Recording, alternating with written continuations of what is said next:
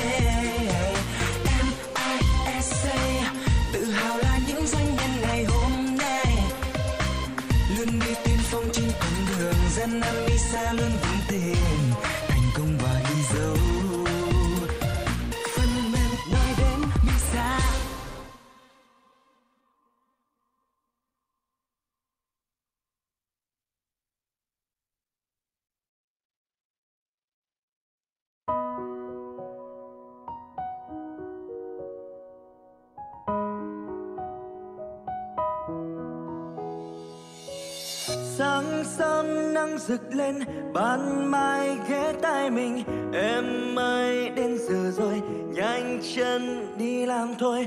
Khoác chiếc áo mi xa băng qua con phố xa. Nơi anh, em, bạn bè, ngóng trông tôi về nhà. 8 giờ sáng, nhìn lịch họp trên tay, tôi thấy tương lai công ty nào đang xây dựng ngay đây. 10 giờ sáng làm việc càng hăng say. Tôi làm bằng óc bằng tay bằng cả trái tim đông đầy.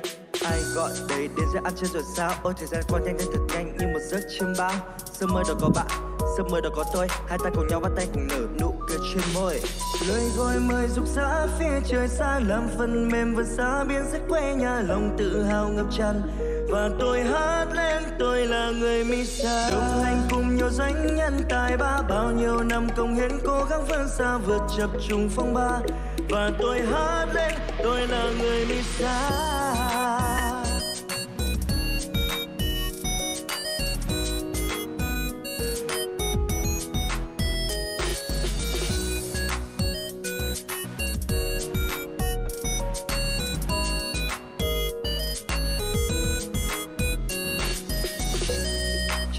Misa Sắc áo chuyến đỏ em mang trên vai như một điều vô giá.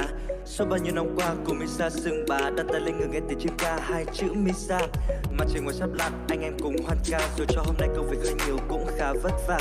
Nhưng em ơi, khoác chiếc áo Misa Bao nhiêu tự hào cho ta vất vả trên con đường về nhà. Lời gọi mời rục rã phía trời xa Làm phần mềm vượt xa biên giới quê nhà, Lòng tự hào ngập tràn. Và tôi hát lên, tôi là người Misa Đồng hành cùng nhau danh nhân tài ba, Bao nhiêu năm công hiến cố gắng vươn xa vượt chập trùng phong ba. Và tôi hát lên, tôi là người Misa Lời gọi mời dục rã phía trời xa, Làm phần mềm và xa biên giới quê nhà Lòng tự hào ngập tràn Và tôi hát lên, tôi là người Misa Đồng hành cùng nhau danh nhân tài ba, Bao nhiêu năm công hiến cố gắng vươn xa vượt chập trùng phong ba. Và tôi hát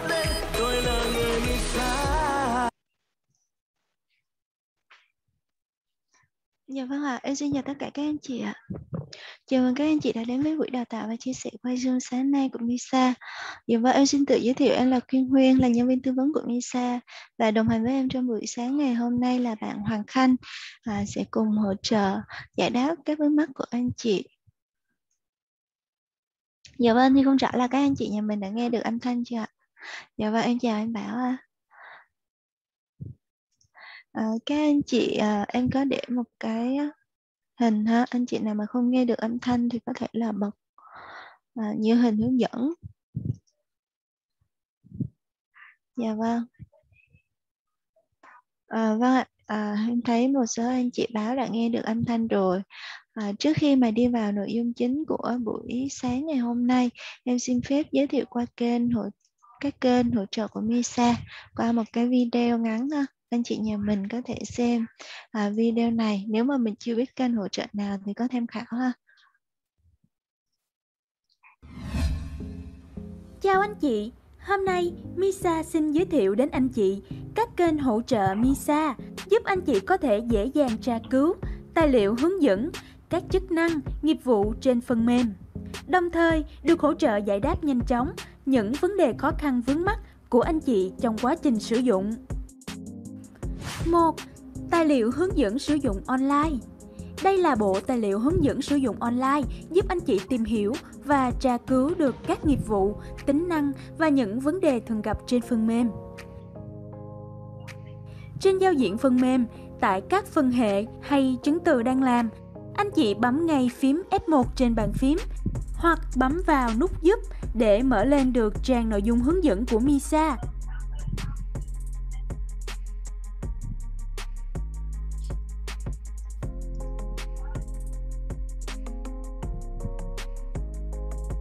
Ngoài ra, anh chị cũng có thể tìm kiếm trang tài liệu trên trình duyệt bằng link hepsme.misa.vn. Anh chị có thể bấm vào các phân hệ hoặc search từ khóa tại ô tìm kiếm để xem nội dung chi tiết.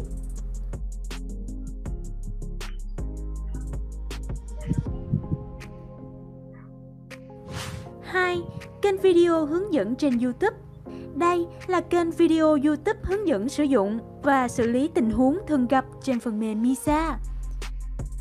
Tại trang YouTube, anh chị tìm kiếm kênh Học Misa Online.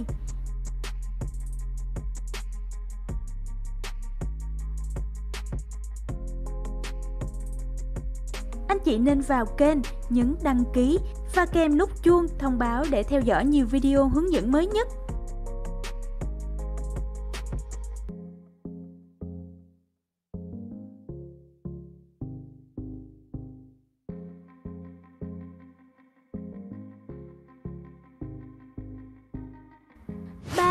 Cộng đồng hỗ trợ MISA qua Facebook đây là kênh cộng đồng hỗ trợ người sử dụng phần mềm MISA và là kênh đang được rất nhiều người dùng ưa chuộng.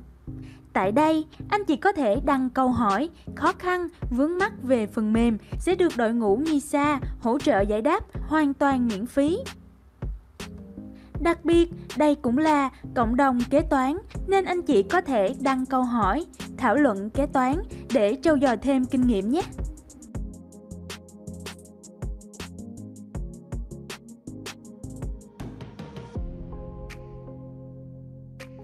Hãy tham gia vào group Facebook cộng đồng hỗ trợ misasme.net ngay từ hôm nay.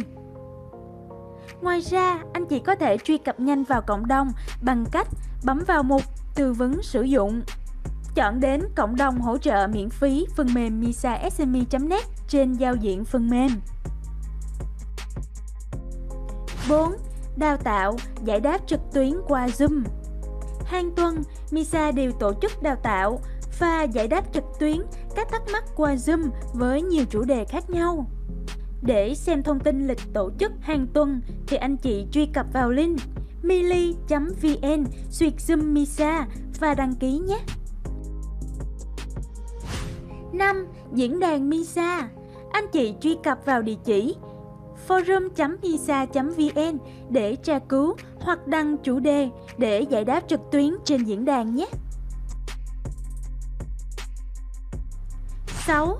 Tổng đài tư vấn MISA Nếu cần hỗ trợ khẩn cấp, anh chị có thể liên hệ lên tổng đài 1900 8677 để có thể trao đổi với nhân viên tư vấn và hỗ trợ khách hàng MISA.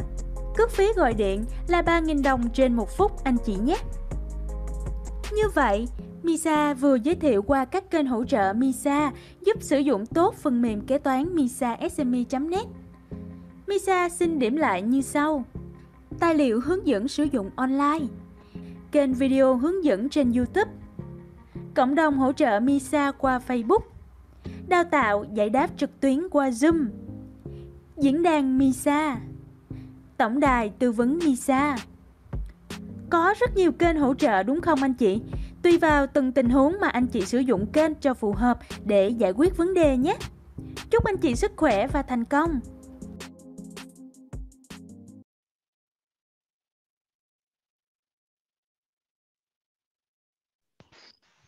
Dạ vâng ạ, vừa rồi là một video ngắn về các kênh hỗ trợ của MISA. Thì anh chị chưa biết đến các kênh nào thì có thể là xem video sau video vừa rồi thì sẽ biết đến nhiều kênh hỗ trợ của MISA hơn ha. Hiện tại thì chương trình đào tạo và hỗ trợ qua Zoom của bên em sẽ là thứ hai, thứ sáu, tới thứ ba, thứ năm và sáng thứ bảy hàng tuần. Lịch sẽ là sáng thì sẽ là 8 giờ 30 đến 11 giờ, chiều là 14 giờ đến 16 giờ 30 và buổi tối sẽ bắt đầu từ lúc 20 giờ đến 22 giờ. Phòng Zoom thì ID sẽ là cố định nên anh chị lưu thông tin này thì trong cái khoảng thời gian thì bên em đào tạo thì anh chị có thể tham gia hiện tại lịch đào tạo thì bên em đã cập nhật ở trên hết. Lịch đào tạo bên em sẽ cập nhật trên hết hàng tuần. Với sáng thứ sáu hàng tuần thì bên em sẽ cập nhật lên trên này. Thì với nội dung ờ, hôm nay thì sẽ là hướng dẫn cho anh chị cách theo dõi hàng gia công và tính giá thành hàng gia công. À, thứ hai thì bên em sẽ có hướng dẫn các tính năng tiện ích hay là hướng dẫn nhập khẩu từ Excel. À, buổi tối thứ ba sẽ có hướng dẫn khai báo danh mục số dư. Qua tuần sau, ngày thứ tư sẽ dành riêng cho phần tính giá thành theo công trình thông tư 200 hay là thông tư 133. Thì như anh chị cũng thấy là hôm qua thì có phần giải đáp bài tập giá thành theo thông tư 200. Thì tối thứ năm thì bên em sẽ có giải đáp bài tập giá thành theo thông tư 133. Và à, cuối tuần sau sẽ liên quan đến tài sản cố định công cụ dụng cụ và kho ha quản lý kho theo số lô hạn dùng nhiều đơn vị tính hay là theo mã quy cách. Thì đó là những nội dung tuần sau. Thì anh chị có thể xem những cái nội dung này ở trên hết của Misa luôn ha. Và những cái lịch này thì bên em sẽ gửi lại thông báo trên phần Zalo. Thì nếu mà anh chị nào chưa tham gia các group Zalo thì bên em có hai nhóm 0405 này anh chị có thể tham gia một trong hai nhóm. Thì các nhóm này thì bên em sẽ thông báo lịch ha. À, mình để lại email thì cuối buổi bên em sẽ tổng hợp và gửi lại cái slide cũng giống như là video hướng dẫn của ngày hôm nay. Thì với phần này thì anh chị có thể quét sau ha. Các bạn có video sau. Dạ vâng, thì không để anh chị đợi lâu, em xin phép đi vào nội dung chính của buổi sáng ngày hôm nay luôn ha. Đó là hướng dẫn. Anh chị có bảo là cho xin video hướng dẫn làm bài tập. Tuần sau bên em mới đào tạo, tuần sau bên em mới có video được ạ. Mỗi buổi đào tạo bên em sẽ ghi lại video, tức là phát trực tiếp cái video đó.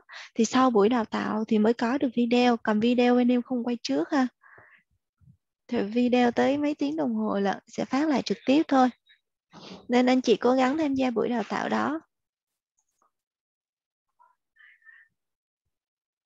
dạ vâng thì sau buổi đào tạo này em cũng rất là mong muốn anh chị có thể theo dõi được hàng nhận gia công và biết cách tính giá thành của hàng nhận gia công. Anh chị phân biệt giúp em đây là mình đi nhận gia công nha. Mình nhận về của người, của bên đối tác của mình của khách hàng của mình mình nhận về gia công rồi mình gửi cho họ. Không phải là mình mang hàng của mình đi gia công nha. Trường hợp nếu mà anh chị mong muốn mà Misa sẽ đào tạo thêm những cái chủ đề ờ, mang hàng gia công thì lúc này thì bên em sẽ à, đào tạo những cái chủ đề này sau. Còn hiện tại trong buổi sáng ngày hôm nay bên em sẽ đào tạo về theo dõi hàng nhận gia công ạ. Nó khác với hàng mang đi gia công nha.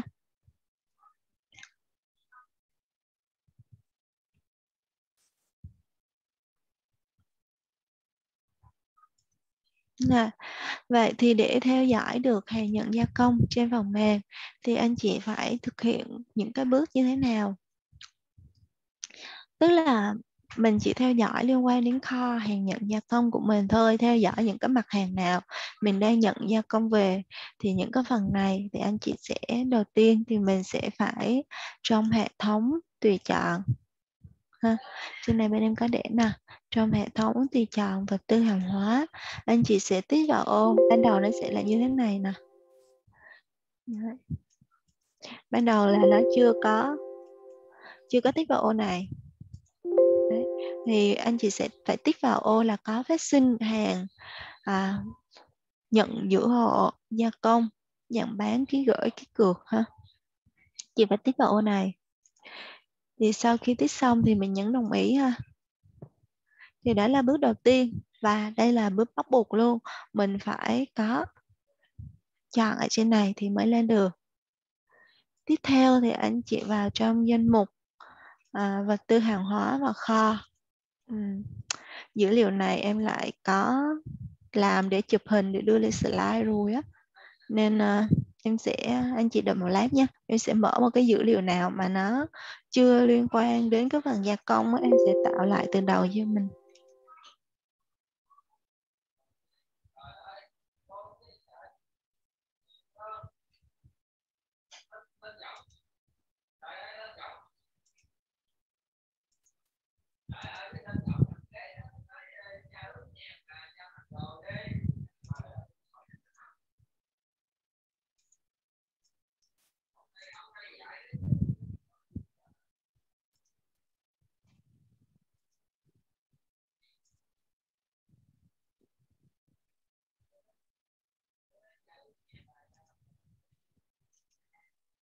Dạ, thì đầu tiên anh chị sẽ vào trong hệ thống tùy chọn trước ha.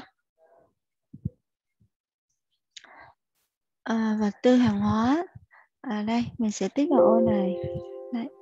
Có phát sinh hàng nhận gia công giữa hộ ở trên này trước. Sau khi mà tích xong ở trong này rồi, anh chị sẽ vào giúp em trong danh mục vật tư hàng hóa và kho ở trên này. Mình tạo giúp em một cái kho đó là kho gia công ha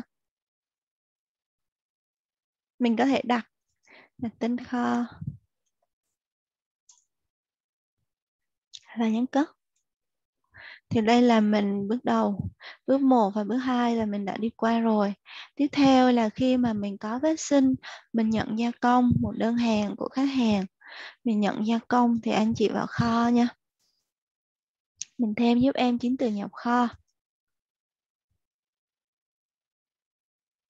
Trên cái chứng từ nhập kho này, mình sẽ chọn giúp em là hàng nhận gia công ở trên này luôn.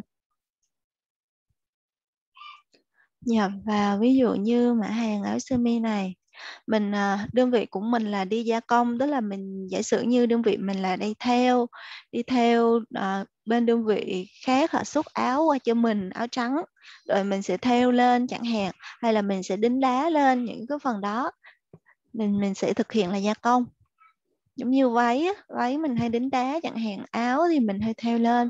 Thì những cái phần này giả sử như đơn vị là kinh doanh như thế ha, thì anh chị sẽ thực hiện là chọn cái mặt hàng mà nhà cung cấp họ. À, bên đơn vị người ta cần mình gia công á. Còn nếu mà chưa có mặt hàng thì anh chị sẽ nhấn vào dấu cộng ở đây để thêm cái mặt hàng lại lên ha. Và mặt hàng mình nhận gia công thì mình cứ xem tính chất nó là vật tư hàng hóa bình thường thôi. Mình không có sản xuất cái mặt hàng này mà là vật tư người ta mang đến cho mình. Lại là những cái người ta đem đến rồi thì mình sẽ chọn, vẫn chọn giúp em là tính chất đó là vật tư hàng hóa nha, thành phẩm vẫn được. Hai cái cái này không có bắt buộc kho mình sẽ nhập vào kho gia công. Số lượng giả sử như mình đi gia công 100 cái áo sơ mi đi. Đơn giá ở đây anh chị có uh, bên nhà cung cấp họ xuất ra cho mình để đơn giá thì mình để mình nhập vào. Còn không có thì mình có thể là xóa cái đơn giá này đi nha. Không nhất thiết phải có đơn giá. Ngày gia công nhận cái trường hợp của mình.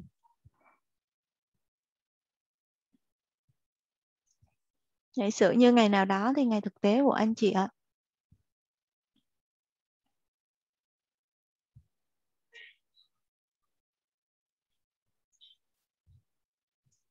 À, anh chị ờ, uh, TR Huế có hỏi uh, nhận gia công vải gia công thì nhập như thế nào không có đơn giá vải thì có cần nhập không? Thì như em vẫn vừa hướng dẫn luôn à.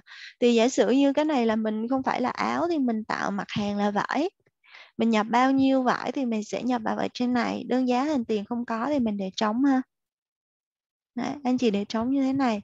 Cái ngày của mình nhận gia công là ngày nào thì mình sẽ chọn tương ứng là ngày đó và nhấn cất. Quan trọng ở đây là anh chị phải chọn giúp em đúng cái kho gia công mình mới vừa tạo. Đấy, cái bước này lưu ý là mình phải chọn đúng kho gia công mới vừa tạo.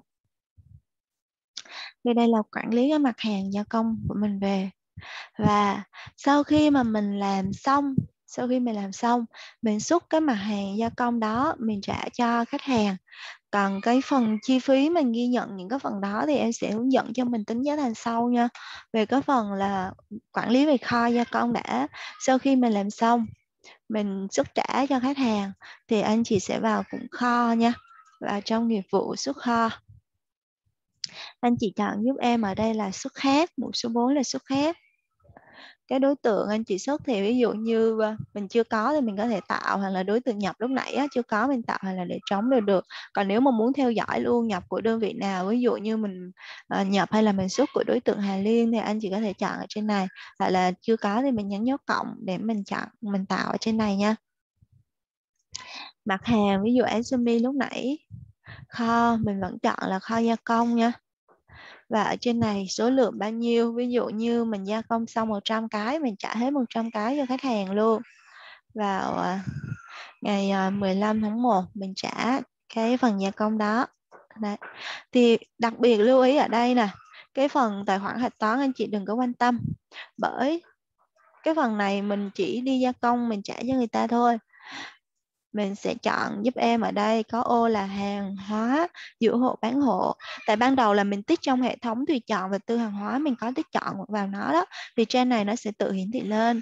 Còn trường hợp mà anh chị không tích chọn á, thì trên này nó sẽ không có hiển thị lên. Nên đó là vì sao bước một là mình cần phải vào tích chọn trong hệ thống tùy chọn trước ha. Thì sẽ chọn ở đây là hàng hóa giữa hộ gia công. Thì ở đây là tài khoản hạch toán này. Cái này nó không có hạch toán được. Đấy cái này nó không liên quan gì bút toán hạch toán hết. Nên anh chị để ý là vì mình nhập vào nó cũng không có hạch toán và xuất ra cũng không có hạch toán nên cái phần đơn giá thành tiền á à, mình có mình nhập cái lúc nhập vào có thì nhập không có thì để trống không sao hết ha không ảnh hưởng. Vâng thì đây là bút toán mà mình đi trả hàng gia công. Mình trả là hàng mình xuất kho. Đấy. thì với À, vậy thì kho mình theo dõi như thế nào? Hay là giả sử ở đây là mình gia công họ yêu cầu là gia công theo từng đợt à, à, qua một tuần chẳng hạn anh chị mà gia công được bao nhiêu thì anh chị có thể trả lại cái hàng gia công đó. Đấy thì anh chị có thể là xuất luôn. À, xuất cái số lượng của nó có thể thay đổi ở trên này ha.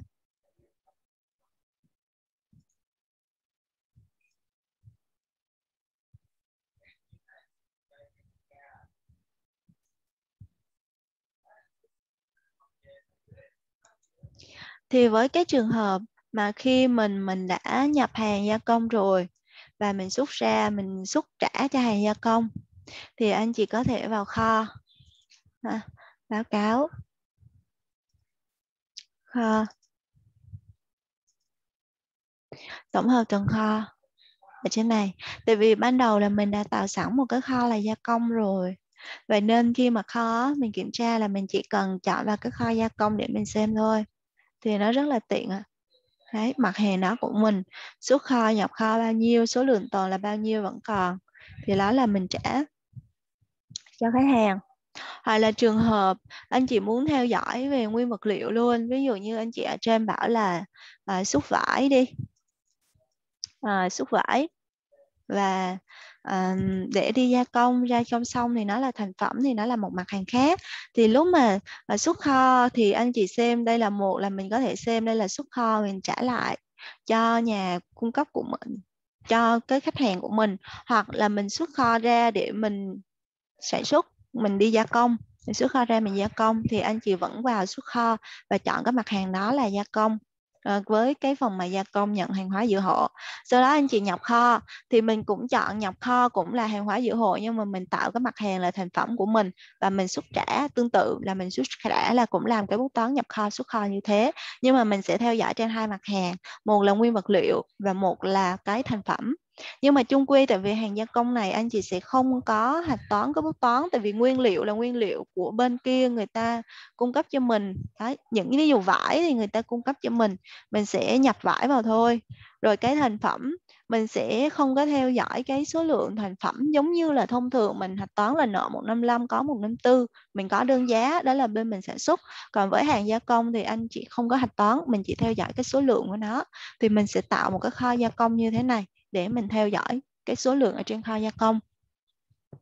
Còn mình có uh, ví dụ như áo sơ mi này à, anh chị thực hiện gia công thì mình có xuất nguyên vật liệu ra à, nguyên vật liệu chính thì khách hàng họ cũng cung cấp rồi.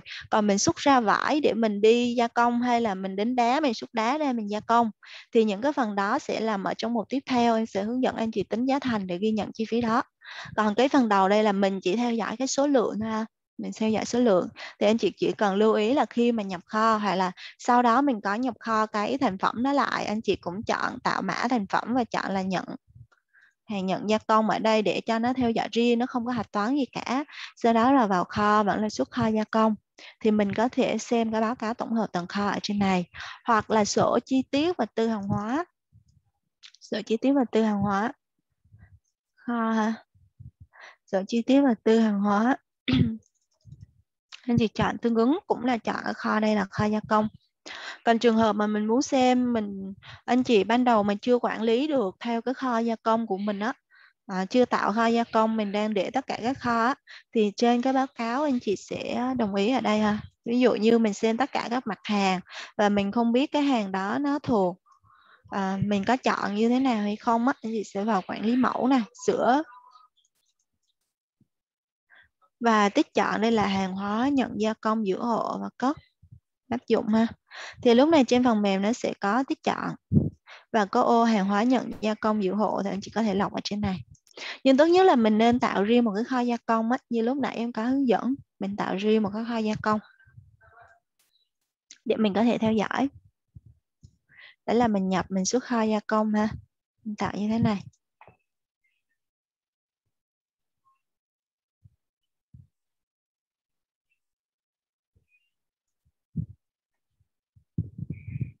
Giả sử như số lượng này em đang để 100 nhưng mà giả sử như anh chị nhận vải rồi nhận áo về rồi nhưng mà mình xuất dần dần mình xuất tại đây là 50 thì anh chị gặp 50 thôi chẳng hạn. Tùy theo cái thực tế của mình nha hay là à, mình à, muốn theo dõi trên cái mã thành phẩm đó luôn thì mình sẽ để như thế này. Còn nếu mà nguyên vật liệu mà đưa vào thì anh chị có thể thêm cái phần nhập và xuất nữa để tạo trả cho khách hàng theo dõi được cái số lượng đó luôn thì nó sẽ như thế này. Nè. nhập và xuất thì số lượng tồn nó sẽ còn 50 trên cái kho gia công của mình.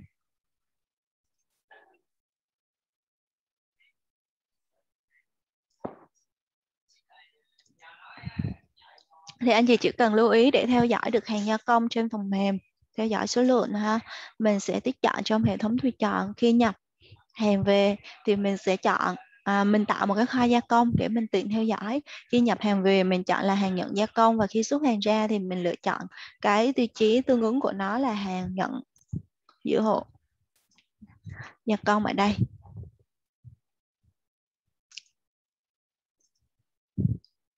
Thì vừa rồi là em đã đi vào nội dung liên quan đến phần quản lý cái số lượng hàng nhận gia công của mình. Thì không rõ là các anh chị nhà mình đã nắm được phần này chưa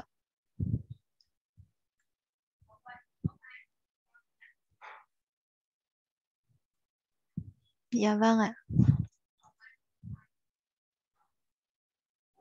À, vâng trên này bên em để rất là chi tiết luôn nha. Mình lưu ý cái phần nào hoặc là trên một báo cáo mà xem mà tiết là tùy chọn mẫu em cũng hướng dẫn luôn cái phần này nha. À, em nói lại dùng phần tiết chọn ban đầu. Phần tiết chọn ban đầu là chị vào giúp em là hệ thống tùy chọn ha. Hệ thống tùy chọn ở đây ạ. à à, vật tư hàng hóa ở trên này nhé và mình tích vào ô là có phát sinh hàng nhận gia công giữa hộ ký quỹ ký cửa trên này. Anh chị có hỏi là nhận vải về gia công và xuất trả áo thì làm như thế nào? Thì trong cái lúc mà nhập kho thì anh chị vẫn tạo hai mã một là vải và một là áo. Thì khi mà nhập kho về thì anh chị vẫn nhập vào hết ở kho gia công luôn giúp em. Thì anh chị sẽ nhập là vải rồi sau đó mình xuất ra mình xuất vải ra để mình à, đi gia công cho khách hàng thì mình vẫn chọn là xuất kho là xuất kho vải.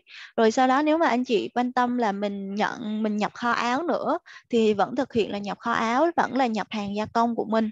Rồi sau đó mình xuất kho là mình lại tiếp tục xuất kho áo.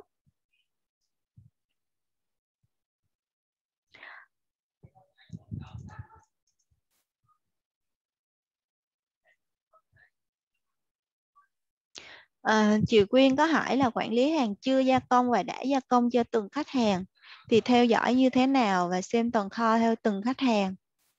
À, cái phần gia công này thì nó ờ, à, phần chưa gia công hay là gia công thì lúc mà chị làm ví dụ như lúc nãy là nhập vào là 100 nhưng mà xuất ra gia công xong rồi á mình xuất gia công thì chỉ có 50 thôi thì phần tồn kho chị sẽ theo dõi được cái số lượng là đã nhận gia công à, là đã gia công hoặc là chưa gia công và từng khách hàng thì chị chỉ theo dõi được trên sổ chi tiết vật tư hàng hóa. Ví dụ như chị chọn là kho là kho gia công này. Và trên cái chứng từ ban ban nãy á chị phải chọn cái đối tượng đó lên. Sửa mẫu thì trên sổ chi tiết vật tư hàng hóa nó có mã đối tượng và tên đối tượng này. Này ha. Em uh, sẽ kéo luôn cái cột mã kho xuống vì mình vốn dĩ mình xem cái phần mã kho tên hàng tên kho thôi nè.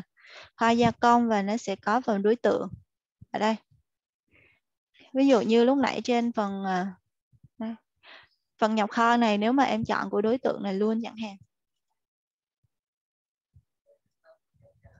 Thì lúc mà chị chọn nhập kho hay là xuất kho chị phải chọn đối tượng nha.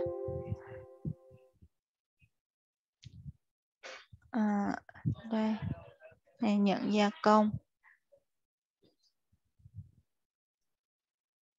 Ủa, hình như em đang thêm lên thêm không phải sửa sửa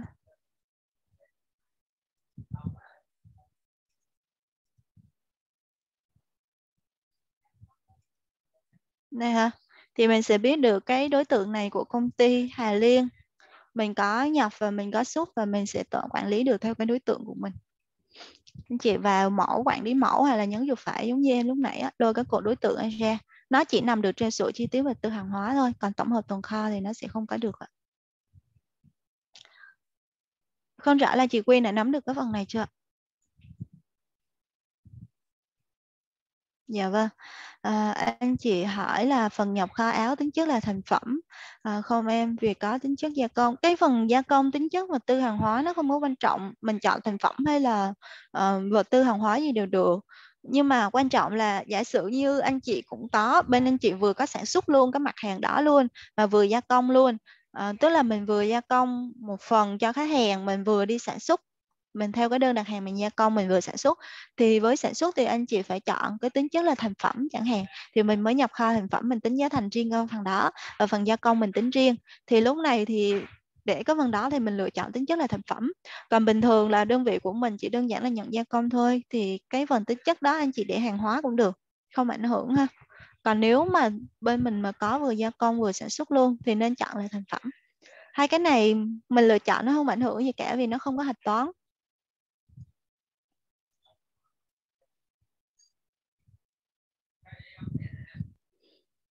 Dạ vâng, thì không rõ là anh chị vừa đặt câu hỏi á. Mình có nắm được phần này chưa? Dạ vâng ạ. Anh chị đã ok hết các vòng mà nhận gia công chưa ạ? Mình theo dõi theo đối tượng luôn ha. Rồi mình theo dõi số lượng toàn nhập xuất kho.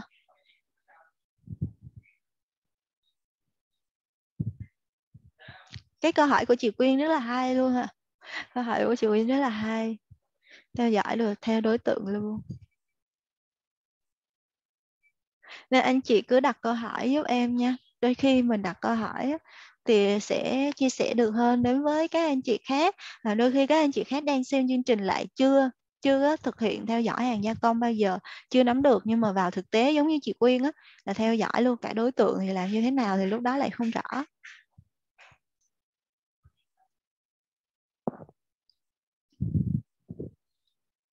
anh chị ok hết phần này chưa ạ em sẽ đi xem phần tiếp theo ạ còn nếu mà chưa à, nắm được phần nào thì em sẽ chia sẻ thêm nhé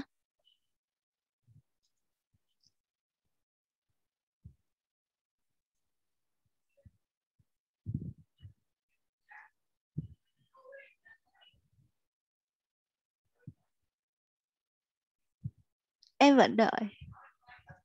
Anh chị có câu hỏi gì thêm không? Hay là đã muốn muốn đi qua luôn phần tiếp theo?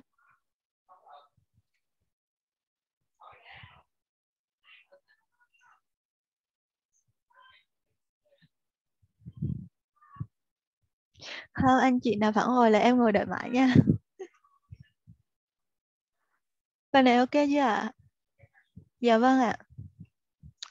Tại vì mục tiêu của khóa đào tạo là rất là mong sau khi mà anh chị mà xong cái khóa đào tạo này là anh chị sẽ nắm được và có thể theo dõi được hàng gia công ở trên phần mềm.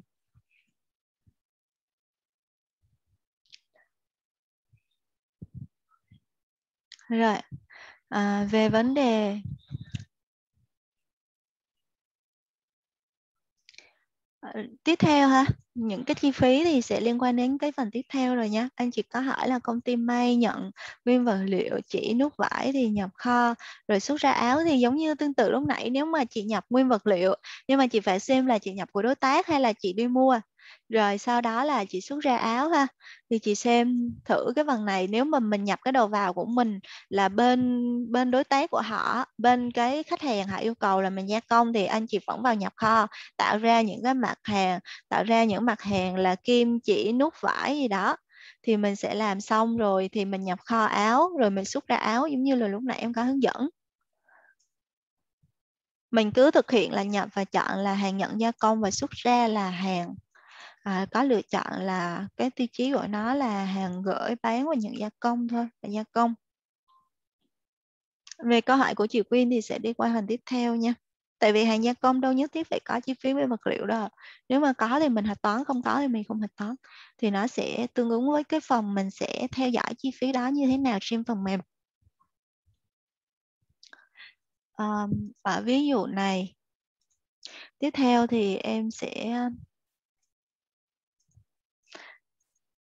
hướng dẫn anh chị uh, tính giá thành theo dõi cái hàng gia công đó. Mình không biết tập hợp chi phí như thế nào để tính giá thành trên phần mềm.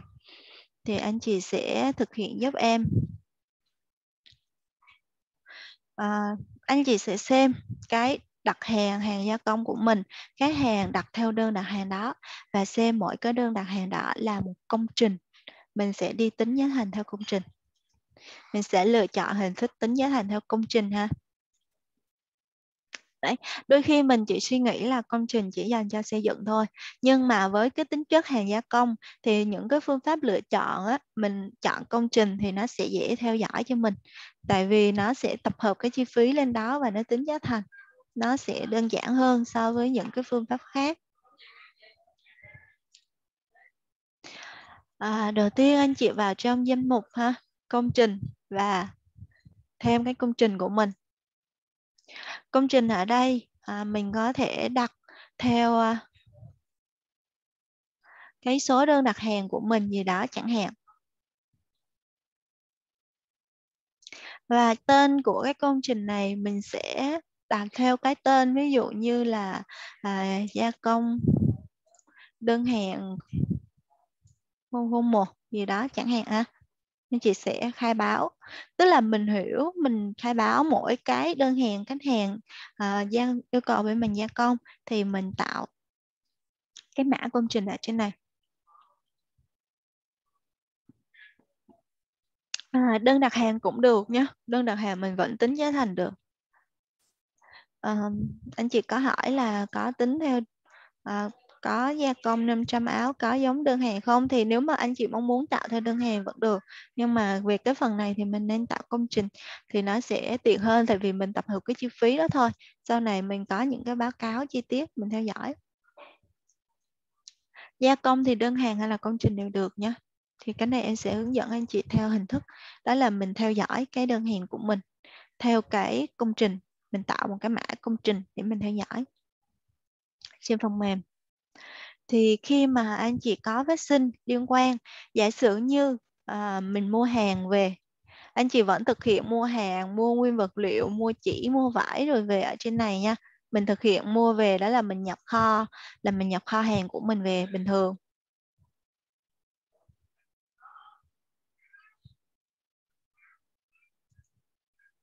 Nhập kho.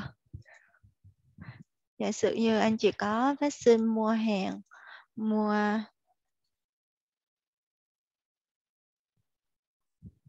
Mua chỉ. Anh chị vẫn hạch toán cái phần chỉ của mình trong này bình thường là mình nhập vào kho nguyên vật liệu của mình. Là, là có tuần đầu kỳ thì mình sẽ nhập tương ứng cái tuần đầu kỳ. Đây là phần nguyên vật liệu của mình về bình thường nha. Mình nhập vào. Đấy là liên quan. Và hoặc là à, liên quan đến những cái chi phí giả sử như mà anh chị hạch toán cái chi phí mà bên mình là gia công rồi mình lại mang cái hàng đó nhờ bên khác đi gia công nữa. Tức là ờ, à, không à, ờ, bên bên nhà cung cấp bên khách hàng của mình á à, yêu cầu mình gia công cái phần đó. Nhưng mà mình nhận cái đơn hàng đó rồi Ờ, mình lại vướng về cái phần gia công, tức là mình phải đi nhờ một bên khác gia công nữa. Thì những cái phần đó anh chị cứ làm trong cái chứng từ mua dịch vụ này, thanh toán bằng tiền hay là chưa thanh toán. Và mình tạo một cái mã dịch vụ, ví dụ như chi phí gia công gì đó, mình tạo tương ứng một cái phần của mình. Rồi mình đưa vào hết vào một năm tư giúp em, cái phần anh chị đi gia công, anh chị đưa vào một năm trư. Và chọn cái công trình của mình, ví dụ công trình 001 này, anh chị chọn vào công trình giúp em nha. Đấy, những cái phần mà anh chị lưu ý là những cái đây là với trường hợp là mình mang cho đơn vị khác đi gia công nữa. Là mình vừa nhận gia công rồi mình lại mang cái hàng đó đi cho một đơn vị khác gia công. Tức là những cái chi phí phát sinh anh chị tập hợp và chọn đúng vào cái công trình đó giúp em. Thì đó là những cái phần mà mình sẽ làm. Và tương ứng à, vào ví dụ như anh chị xuất hàng xuất nguyên vật liệu ra giả sử như mình có mình đi gia công mình xuất kho ra. Còn nếu mà trường hợp mà mình không có xuất kho mình không có xuất kho để đi gia công à, mà anh chị chỉ phát sinh là nhân công để mình thực hiện gia công thôi thì anh chị không cần phải làm cái phí xuất kho này. Ví dụ em xuất kho ra chỉ để em đi gia công em đi may. Em đi may. À, về phần này mình đi may ha. Cái phần này là phần nằm ở trong phần nhận gia công luôn nha, chứ không phải là cái phần này em đang nói là trường hợp là chi phí đó phát sinh cho phần nhận gia công ạ. À. Thì đôi khi anh chị nhận gia công và anh chị có phát sinh thêm cái phần chi phí mà mình mang đi gia công nữa, chứ không phải là bản chất là mình đi mang đi gia công, mà là mình, giống như là mình nhận đơn hàng của khách hàng. Rồi sau đó là sau đó là mình đi gia công thêm, rồi mình về mình gia công thêm. Tức là có những cái khâu mà mình, bên mình không gia công được là mình còn phải nhờ bên khác gia công. Thì những cái chi phí đó mình tập hợp lên và mình nhớ mình chọn cái công trình đó. Còn cái trường hợp này là nó gồm trong trường hợp là bên mình nhận hàng gia công luôn nha đó là một cái trường hợp một cái phần mà chi phí chứ không phải là nó tách riêng biệt. Cái phần này là em không hướng dẫn cho cái phần mình đi mình mang hàng đi gia công riêng nữa ạ. Đây là phần mà tương ứng với hàng mà nhận gia công luôn ạ. À, thì với cái em sẽ xin phép tiếp tục nha. Với cái phần mà mình xuất mình xuất ra để mình đi gia công thì ví dụ như thông tư 200 thì anh chị vẫn chọn giúp em là 621 nha. Nếu mình có phát sinh cái chi phí nguyên vật liệu đó, mình rút ra để mình gia công. Chị có phát sinh thì mình cứ chọn tương ứng giúp em.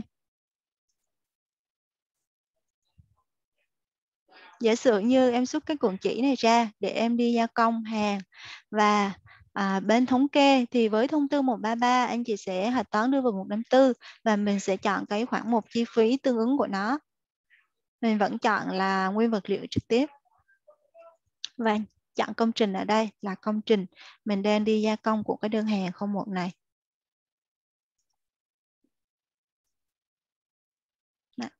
Đây là phần mình xuất ra.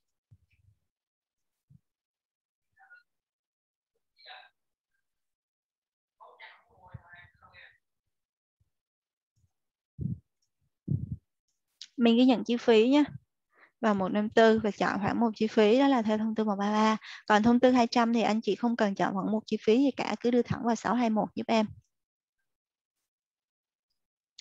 À, và trong kỳ mình có phát sinh liên quan đến những cái à, chi phí nhân công chẳng hạn. Anh chị giả sử không tính lương không lập bảng tính lương trên phần mềm anh chị ghi nhận ở ngoài.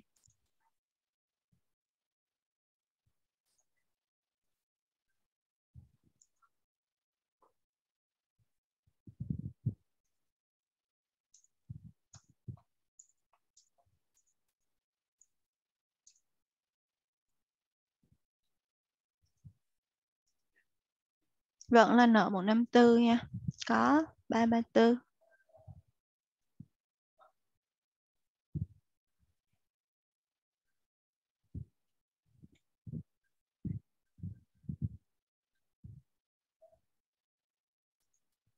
Rồi, mình sẽ chọn tương ứng giúp em ở trên này.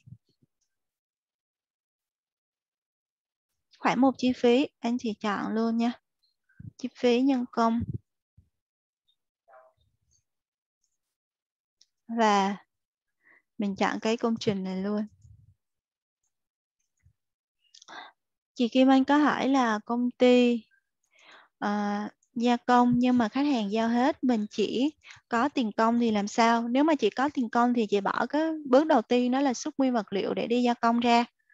Rồi sau đó thì chị sẽ tạo một cái chứng từ như thế này thôi là ghi nhận cái chi phí nhân công của mình mình bỏ ra để mình gia công cho cái đơn hàng đó hết là bao nhiêu thì mình sẽ ghi nhận nhân công thôi.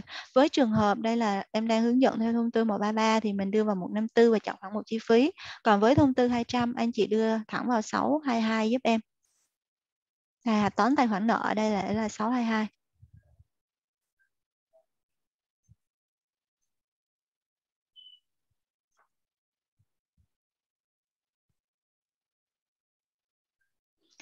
À, ví dụ như mình à, trả lương à, theo sản phẩm của mình đi mà ghi nhận được bao nhiêu mình trả lương gia công được bao nhiêu thì mình trả lương những cái chi phí đó. Thì cái ngày mà anh chị ghi nhận cái chi phí trả lương cho cái phần gia công này bao nhiêu thì anh chị sẽ nhập tương ứng ở trên này.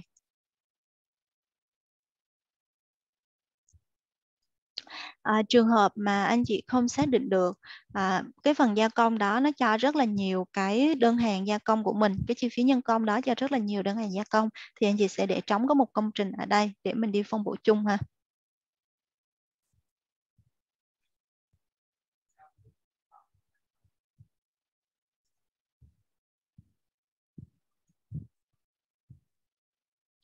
À, anh chị tách tiết khoản 152, 15, 154 ra thì cái phần này mình gộp về một tài khoản 154 giúp em nhé. Mình tách tiết khoản thì mình không có tính giá thành là trên phần mềm ạ. À.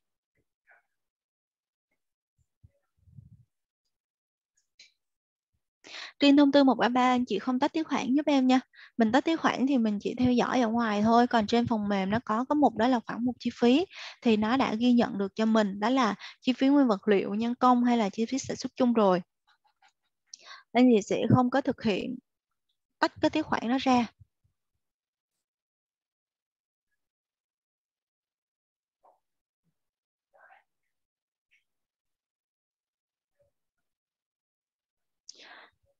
À, chị Hiền Đặng có hỏi là trường hợp mình xuất đi gia công ngoài anh chị xuất đi gia công ngoài là anh chị sản xuất rồi xuất đi gia công hay là mình nhận hàng của các đơn vị khác mình gia công rồi mình xuất đi gia công lượt nữa?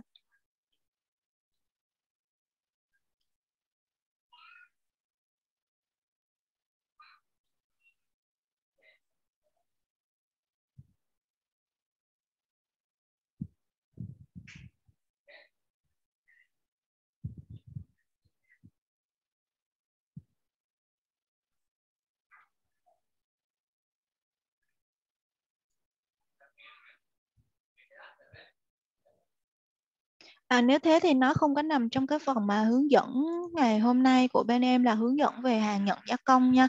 Cái phần đó là hàng mình mang đi gia công rồi ạ. Cái phần đó thì mình sẽ tập hợp chi phí để mình tính giá thành theo phương pháp sản xuất giúp em. Còn cái phần này là phòng mình đi nhận gia công. Thì nếu mà trường hợp của anh chị đó là xuất đi để gia công á, thì anh chị vẫn vào phiếu xuất kho và xem giống như cái lượt đó là mình xuất kho nguyên vật liệu để sản xuất bình thường. Và chi phí mà ghi nhận hàng gia công về họ xuất hóa đơn cho mình á, mình ghi nhận vào trong cái tài khoản 154 làm trong chứng từ mua dịch vụ để mình ghi nhận để mình tính giá thành theo sản xuất còn cái phần này nó không có liên quan đến cái phần công trình à, phần theo dõi cái phần mình nhận gia công nó sẽ nằm một cái phần khác nha thì mình sẽ xem. Trên cái phần đó thì bên em có tài liệu hướng dẫn. Mình có thể xem theo cái tài liệu hướng dẫn này giúp em.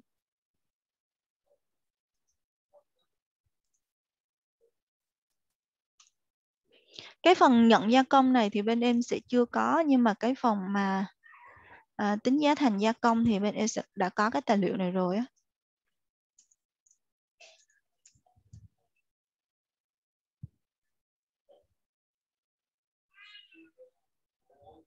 Làm thế nào để tính giá thành hàng mang đi gia, hàng mang gia công này? Mình xem cái phần này giúp em nha. Khai báo thành phẩm mang đi gia công hay là ghi nhận chi phí thì mình xem lại cái hướng dẫn này. Còn nội dung buổi hôm nay thì bên em chỉ hướng dẫn về phần hướng dẫn hàng nhận gia công thôi ha.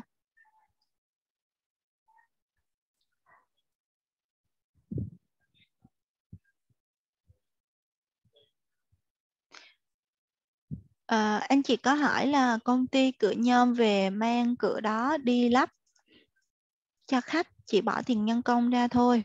À, thì nếu mà cái chi phí đó của mình nó chỉ ghi nhận nhân công thôi thì lúc này thì mình không cần phải tính giá thành cho nó phức tạp lên. Tính giá thành ở đây là khi mà anh chị có thực hiện gia công, bỏ chi phí nhân công ra, bỏ chi phí máy móc, thiết bị của mình mình tính, mình phân bổ để mình ghi nhận được tổng cái giá vốn mình gia công là bao nhiêu, thì mình sẽ thực hiện là tính giá thành gia công. Còn đó, thêm phát sinh thêm, giống như là 627 nữa chẳng hạn, thì anh chị hãy tính giá thành. Còn nếu mà chỉ là chi phí nhân công thôi, thì mình biết được tổng chi phí mình hãy toán luôn vào cái phần nhân công của mình rồi. Mình tính giá thành thì nó sẽ tốn thời gian thêm của mình ha.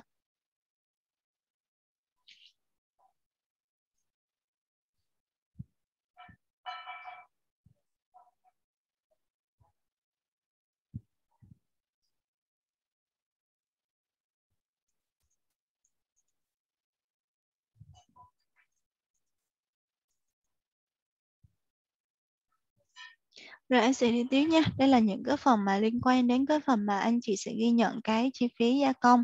Ngoài ra là những cái chi phí mà anh chị mang đi thuê ngoài gia công chẳng hạn. Hay anh chị cũng hạch toán đưa vào một năm tư và chọn cái công trình cũng như là khoảng một chi phí của nó để mình chọn tương ứng mình đi gia công cái công trình này, cái đơn hàng này.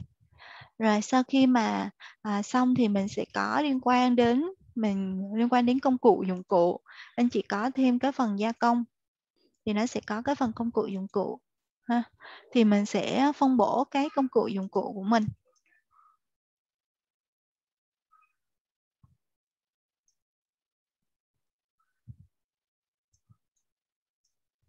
Giả sử như cái máy in này của mình à,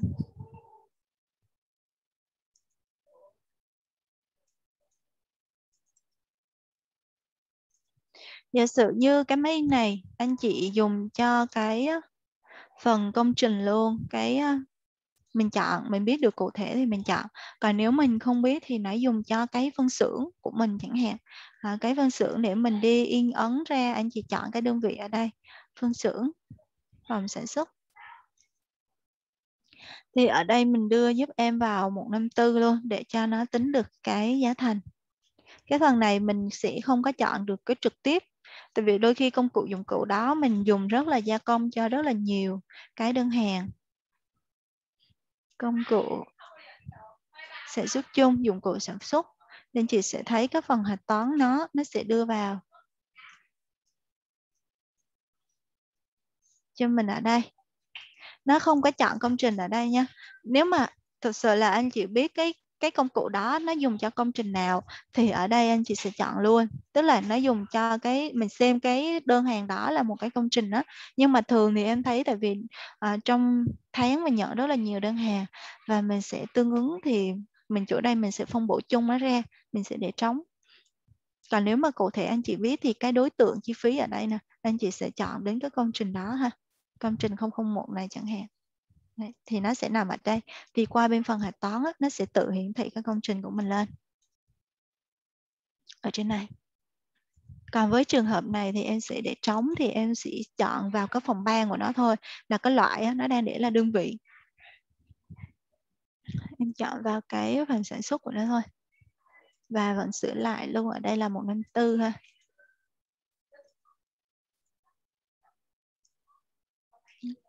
Và à, với trường hợp mà anh chị đang dùng theo thông tư 200 thì mình đưa vào nó là 627 luôn giúp em.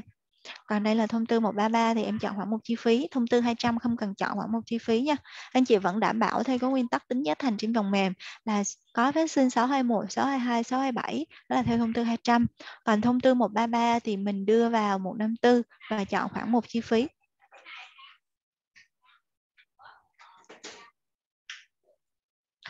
Tương tự tài sản cố định cũng như vậy.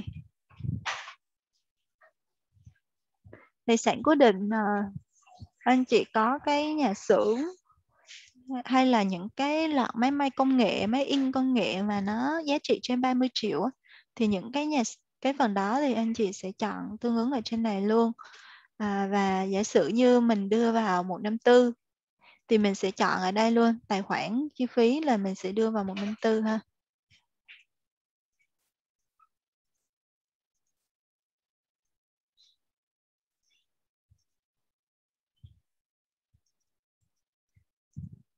Và phải chọn luôn khoảng một chi phí.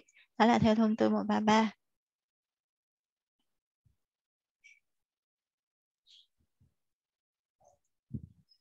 chi phí khấu hao, tài sản cố định.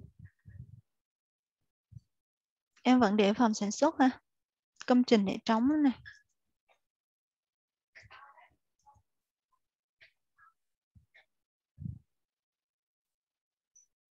thì đây là những cái chi phí phát sinh và khi đó giả sử như anh chị cuối tháng có tính giá thành và à, mình có xuất kho nguyên vật liệu ra để mình gia công thì theo phương pháp bình quân cuối kỳ anh chị phải vào kho và thực hiện tính giá xuất kho giúp em nha. Giả sử như là em tính giá xuất kho tháng 1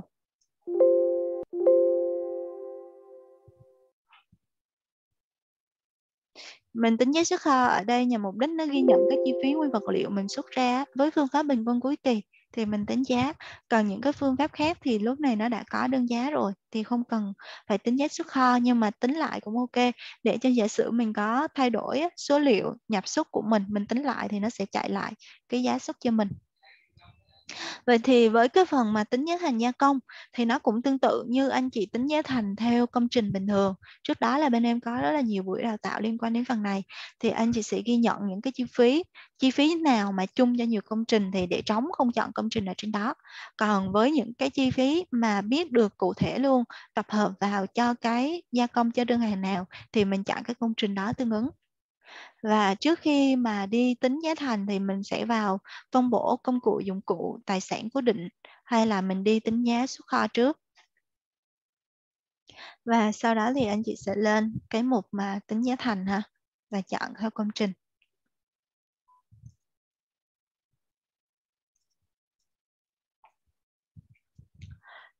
À, cái phần gia công này á, anh chị có thể là tạo theo công trình đơn đặt hàng đều được nha và nếu mà giả sử như bên mình vừa sản xuất vừa xây dựng, mình có nhiều kỳ tính giá thành, nó cũng không có ảnh hưởng của mình. Em đây là kỳ tính giá thành của tháng 1 cho cái mặt hàng gia công theo đơn hàng thôi, còn em sẽ loại bỏ hai cái công trình ở đây đi, hai cái công trình này là liên quan đến xây dựng thì em sẽ loại bỏ. Đây là gia công đơn hàng 001 chẳng hạn. Trường hợp mà anh chị trong tháng có nhiều cái gia công cho nhiều đơn hàng thì mình sẽ lựa chọn luôn ở trên này luôn nha. Có nhiều đơn hàng nó tự ra, có phát sinh chứng từ trong tháng, có chọn đến cái đơn hàng đó thì nó sẽ tự ra cho mình.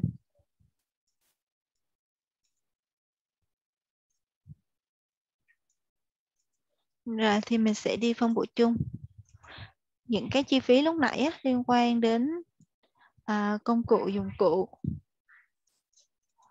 Nên nó sẽ có phát sinh ở trên này.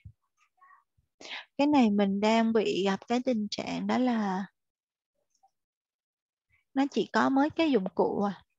Vậy tính khấu hao này tại sao nó lại không lên?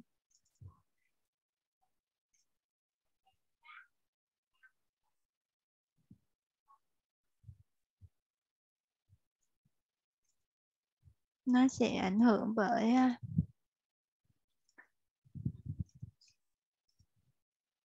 tạm thời em à, xóa cái công trình này đi.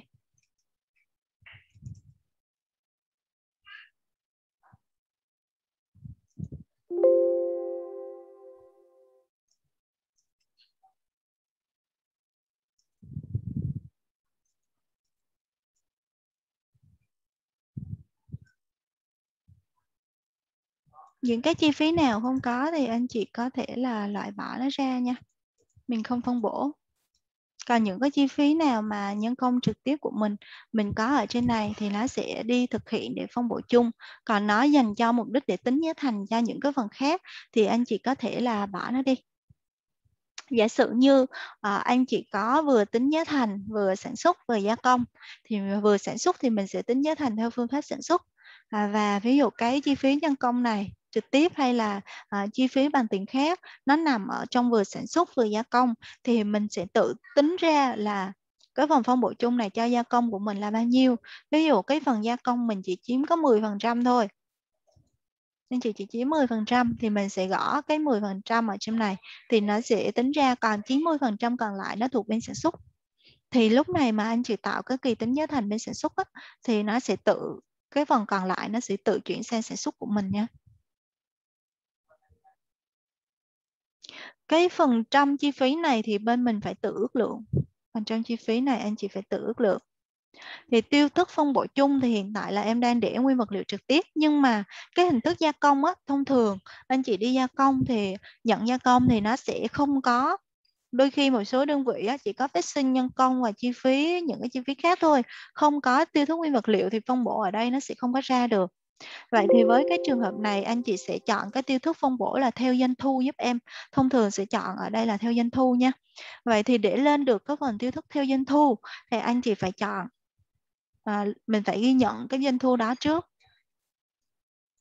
Ví dụ như mình ghi nhận cái chi phí cho công trình thì anh chị sẽ bán hàng. Không kiêm phí xuất kho nha. À,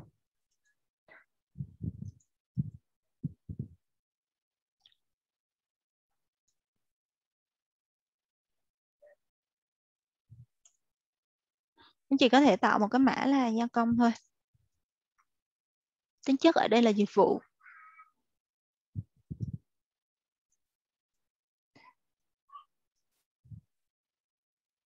Cái phần này tạm thời sẽ khai báo như thế này.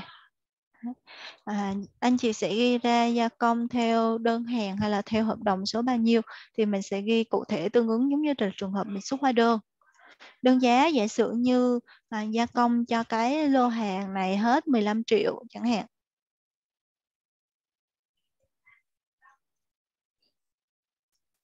Gia công cho lô hàng này hết 15 triệu. Thì ở trên này nè anh chị phải chọn cái phần đó là gia công cho đơn hàng này thì mình phải chọn cái công trình này. Bên phần công trình chọn cái công trình này lên.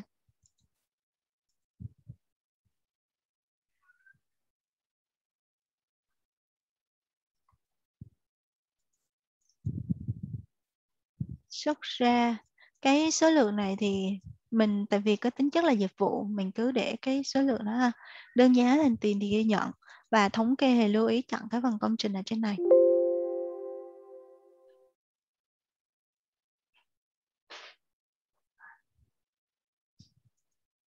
Thì khi mà anh chị vào tính giá thành á, nếu mà mình có rất là nhiều cái đơn đặt hàng của mình mình tính giá thành thì ở đây anh chị sẽ phân bổ chung theo tiêu thức đó là doanh thu giúp em theo tiêu thức ở đây là mình sẽ chọn là doanh thu.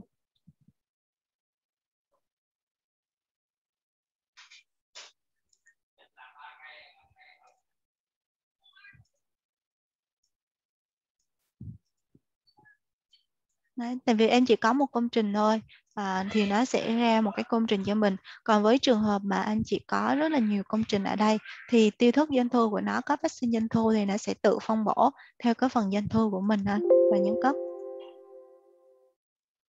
và đến cái phần đó là nghiệm thu theo công trình. Phần doanh thu của mình có nè. Phần cái số chương nghiệm thu của mình có. Thì công trình này mình đang lời, nhưng mà cái đơn hàng này mình đang lời, nhưng mà lời cũng không được nhiều ha. Dạ, anh chị sẽ thấy được cái phần này luôn.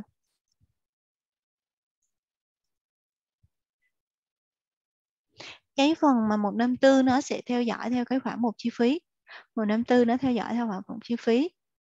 À, nó sẽ cảnh báo như thế này thì anh chị nhấn Z để copy nha. Chứng từ nghiệm thu này mình không cần phải chuyển qua. Giúp em là phải chọn cái khoản một chi phí ở trên này.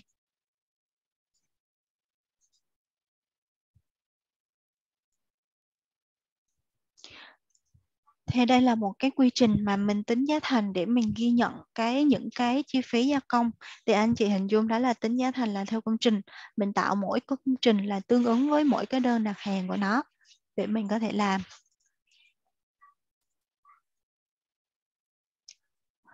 Và mình sẽ phân bổ theo cái phần doanh thu ha.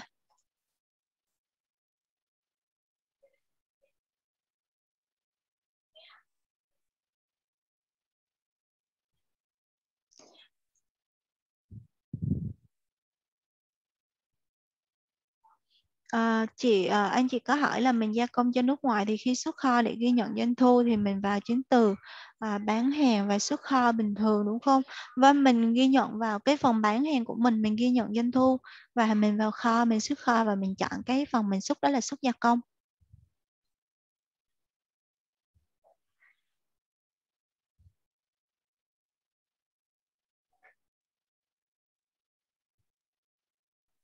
Như vừa rồi là em đã lên cái tập hợp chi phí và tính giá thành. Cái phần này. Phần xuất gia công là lúc nãy em đã hướng dẫn liên quan đến phần kho là mình đi xuất cái phần đó gia công rồi ạ. À. Mình xuất để mình trả cái phần gia công rồi. Còn xuất nguyên vật liệu thì nó nằm ở cái phần là mình, cái này là đang hướng dẫn để mình ghi nhận chi phí.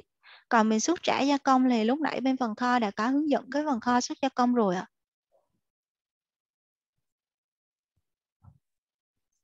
Xuất kho gia công và anh chị có chọn ở đây là phần hàng hóa nhận giữ hộ gia công ở trên này ạ.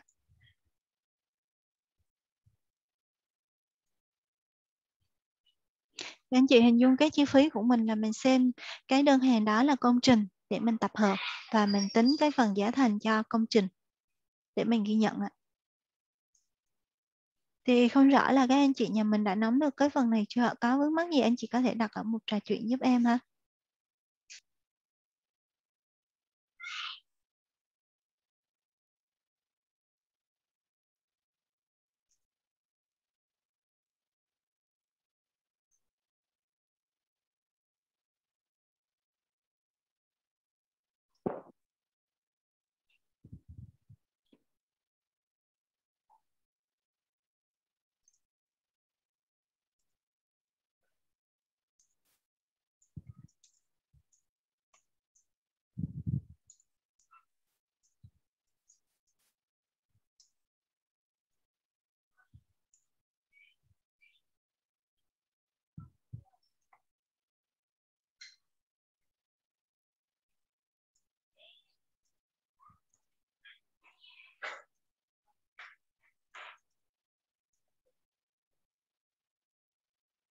Dạ vâng, mình lập chứng từ bán hàng để mình ghi nhận doanh thu thì mình không có kim phiếu xuất kho.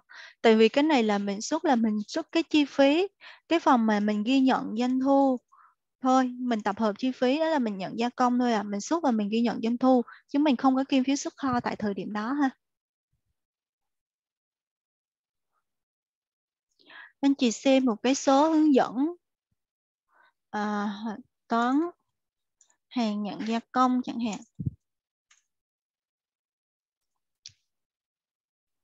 Thì cái phần hàng nhận gia công này bên mà nhận gia công á, thì mình sẽ ghi nhận cái chi phí mình ghi chép về cái chi phí để mình theo dõi. Và cái số tiền mình ghi nhận là mình ghi nhận cái phần doanh thu cái tiền gia công thực tế là mình được hưởng thôi chứ không phải là mình đang xuất hàng hóa mình bán. Không phải là mình đang xuất hàng hóa mình bán nha. Mình chỉ ghi nhận cái doanh thu của mình thôi mình được hưởng thôi thì cái phần tại thời điểm anh chị ghi nhận doanh thu ở đây là anh chị phải ghi nhận là ghi nhận liên quan đến cái phần dịch vụ mình tạo mã dịch vụ để mình ghi nhận doanh thu và anh chị sẽ chọn đến cái phần công trình này để mình biết được cái doanh thu cho đơn đặt hàng này ạ. Nó khác với cái việc là mình mang hàng, mình đi gia công, sau đó mình về mình sản xuất nha. Cái nội dung của cái phần này là mình chỉ nhận hàng của bên đơn vị khác, họ giao cho mình, mình gia công thôi. Chứ không phải là mình mang hàng, mình đi gia công để mình sản xuất, rồi mình xuất bán cái hàng đó nên phần kho thì anh chị tách biệt luôn nên lúc nãy thì anh chị hướng dẫn cái phần kho theo dõi cái kho riêng là mình xuất kho ở trong này chứ nó không liên quan gì đến bán hàng cả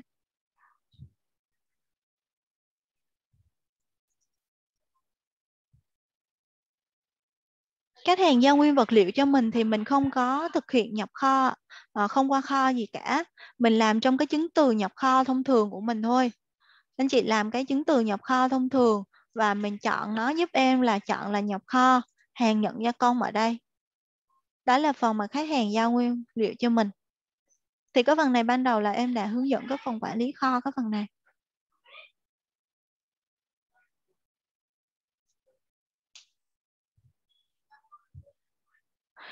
À, vâng chị Quyên có hỏi là không có liên quan đến cái phần nguyên vật liệu thì như lúc nãy em có hướng dẫn á, thì cái phần xuất kho á, chị bỏ cái xuất kho sản xuất nguyên vật liệu ấy đi. Còn chi phí bình thường chị vẫn là vào trong chi phí tính khấu hao chi phí điện nước hay là chi phí nhân công? Của chị chị làm bình thường à?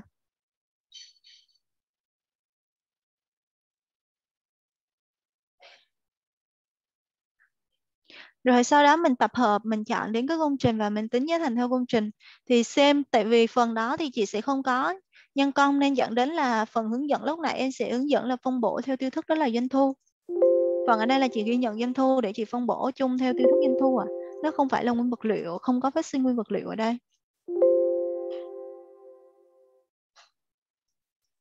Ở đây mình sẽ chọn phân bổ theo doanh thu chẳng hạn.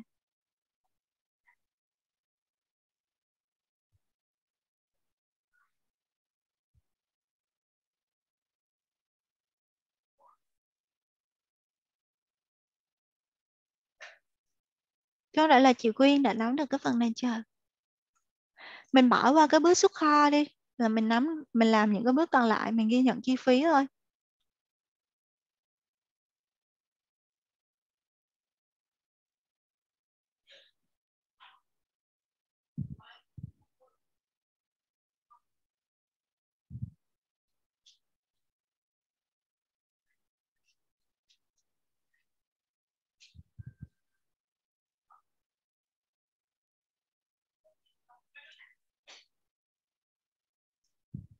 Thì sau khi mà tính giá thành cho công trình xong, thì anh chị sẽ xem lượt báo cáo lãi lỗ theo công trình.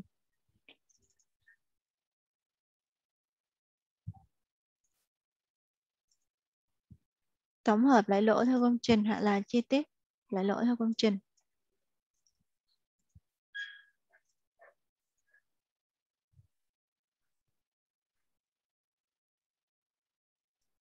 Nó sẽ có ở trong này ha doanh thu giá vốn và lãi lỗ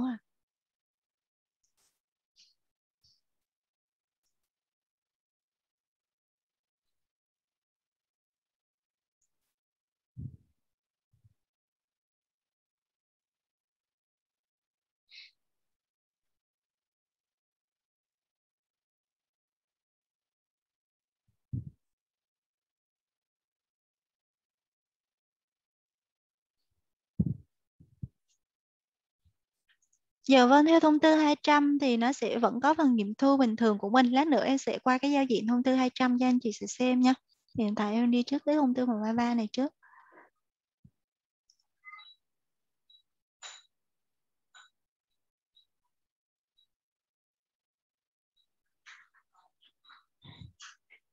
À, chị Huyên có bảo là vì cái phần hàng gia công này doanh thu ghi sau. Tại vì cái phần tính giá thành này thì không bắt buộc là mình phải tính giá thành tại thời điểm mà à, ngay khi vừa kết thúc mà đôi khi sau đó chị có phát sinh. Ví dụ tháng 2 chị tính ngược lại giá thành tháng 1 cũng được. Tức là có phát sinh trong cái kỳ đó và mình ghi nhận doanh thu thì mình sẽ phân bổ theo doanh thu. Thì thường thì em sẽ thấy các đơn vị hay làm gia công thì phân bổ theo doanh thu nó hợp lý. Còn trường hợp mà mình không muốn phân bổ theo tiêu thức doanh thu thì mình chọn có thể là nhân công hay là à, nguyên vật liệu à, nguyên vật liệu thì không chọn rồi nhân công, mình có thể chọn nhân công ở trên này, hoặc là chị phải tự phân bổ, xác định cái tỷ lệ phân bổ ở đây, chị tự phân bổ ở ngoài. Nếu mà chị có nhân công mà mình biết được tập hợp chi phí nhân công cho từng công trình nào luôn, thì chị cũng có thể chọn cái tiêu thức phân bổ theo tiêu thức nhân công trực tiếp. Còn lại ở đây vì bên chị không có phát sinh nguyên vật liệu thì chị sẽ không có chọn tiêu thức nguyên vật liệu. Thì thường em thấy những cái đơn vị này hay chọn cái tiêu thức doanh thu thì nó hợp lý à, thì khi nào mà chị phát sinh doanh thu thì sau đó chị tính ngược lại cái phần tính giá thành vẫn được. Miễn sao là phần doanh thu đó nó nằm ở trong tháng đó của chị thôi.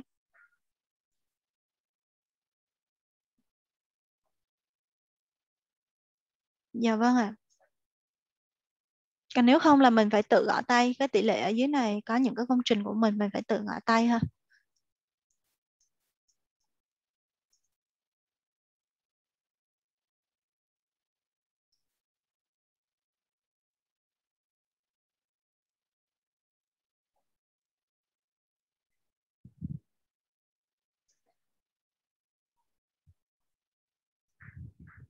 Dạ vâng, lúc nãy anh chị có hỏi về cái phần doanh thu thì mình ghi nhận doanh thu anh chị sẽ vào chứng từ bán hàng. À, mình lập giúp em chứng từ bán hàng và mình ghi nhận đó là bán hàng khung kim phiếu xuất kho ở trên này. Anh chị tạo giúp em một cái mã mang tính chất là dịch vụ.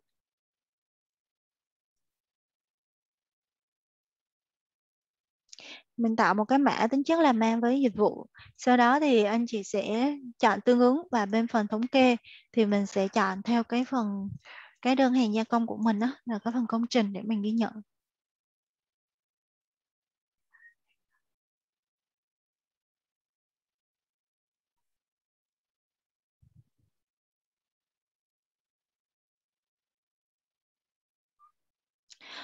Dạ vâng, chị Huế có hỏi là trường hợp tháng này gia công nhưng mà chưa xuất, chưa có phát sinh doanh thu thì chỗ vòng phân bổ có đẩy lên được số liệu không? Dạ vâng chưa, không ạ. À. Nếu mà mình không có phát sinh doanh thu thì nó sẽ không có lên được số liệu. Khi nào mà chị hạch toán thông qua tài khoản doanh thu 511 hay là 711 trong cái khoảng thời gian mà mình lập kỳ tính giá thành thì nó mới phân bổ và anh chị muốn phân bổ theo tiêu thức doanh thu thì cũng phải chọn cái công trình ở đây. Thì nó mới biết được là mình cho công trình nào doanh thu bao nhiêu thì nó mới đi phân bổ chung được luôn cho mình. Cái phần à, và đồng thời nếu mà trường hợp đó, nếu mà chị muốn mà tính giá thành tại thời điểm đó luôn, chị muốn biết tập hợp cái chi phí cho đơn hàng đó là bao nhiêu thì chị lựa chọn theo cái tiêu thức khác. Tại vì qua khoảng thời gian tháng 3 tháng 4 chị mới ghi nhận doanh thu, thì chị có thể chọn tiêu thức nguyên vật liệu trực tiếp, hoặc là mình theo nhân công, hoặc là mình tự có phân bổ cái chi phí đó vào. Cái phần mà doanh thu trước đó, trên hết của bên em em có viết một cái bài ở trên này nè phần uh, giá thành.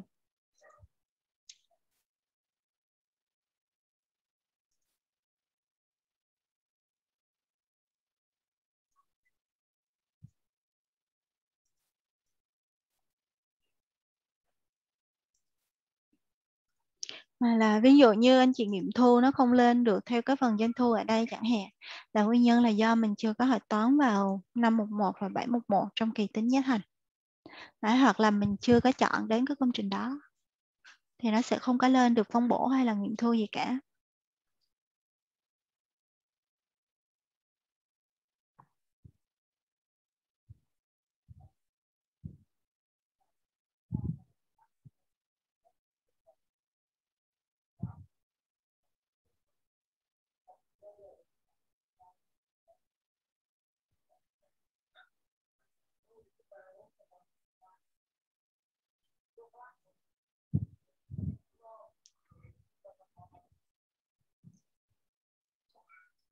Vâng, em gửi ra điện thoại xin ạ.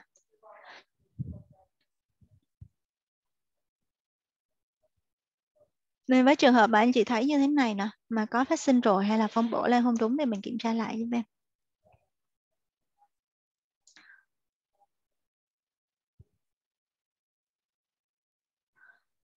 Uhm, anh Bảo có hỏi anh Bảo có hỏi là à, mình gia công nhưng có đặc điểm là theo dõi doanh thu theo số lượng thành phẩm gia công. Mình xem các thành phẩm gia công là thành phẩm của mình và nhập kho. Chi phí thành phẩm chỉ bao gồm chi phí công ty bên mình. Không bao gồm chi phí nguyên vật liệu gia công thì vẫn theo dõi kho riêng vậy mình tính giá thành nhập kho có ổn không vào cuối năm? Hạch toán đảo ngược lại là nợ của 1388 có 154 go in như mình tạo ra kho ảo 155 phương pháp thành phẩm.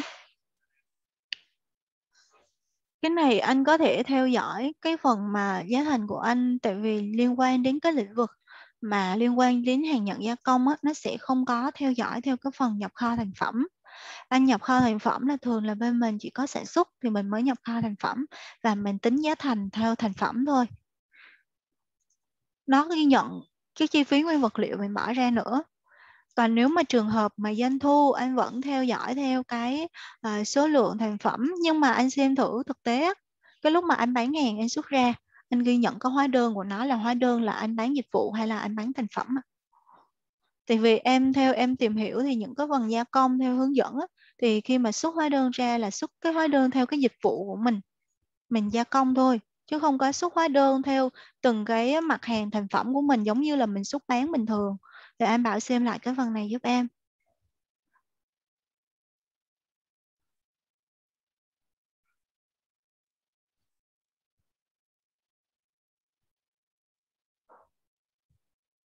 À, do nếu mà gia công nước ngoài thì nó sẽ có số lượng nó quản ký nó quản lý số lượng rất là chặt chẽ cái phần này rồi. Phần này không bao gồm nguyên vật nguyên vật liệu.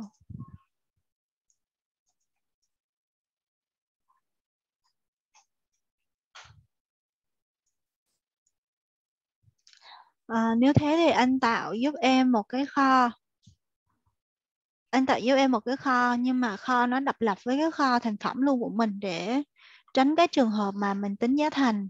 Theo cái ờ, phần này à, anh tính giá thành anh theo dõi số lượng thành phẩm nhập kho. Cái phần này là anh muốn biết cái đơn giá thành phẩm nhập kho của mình luôn hay là sao ạ? À,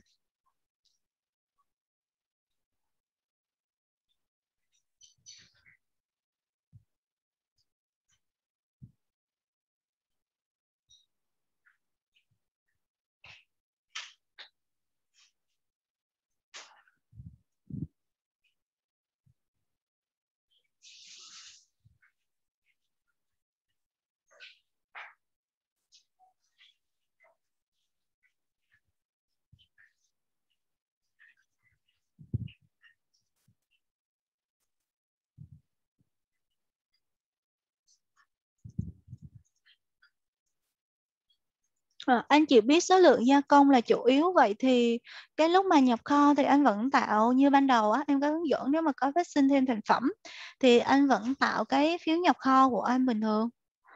Anh vẫn tạo cái phiếu nhập kho đó là thành phẩm trong cái kho gia công của anh, sau đó là anh xuất kho thành phẩm.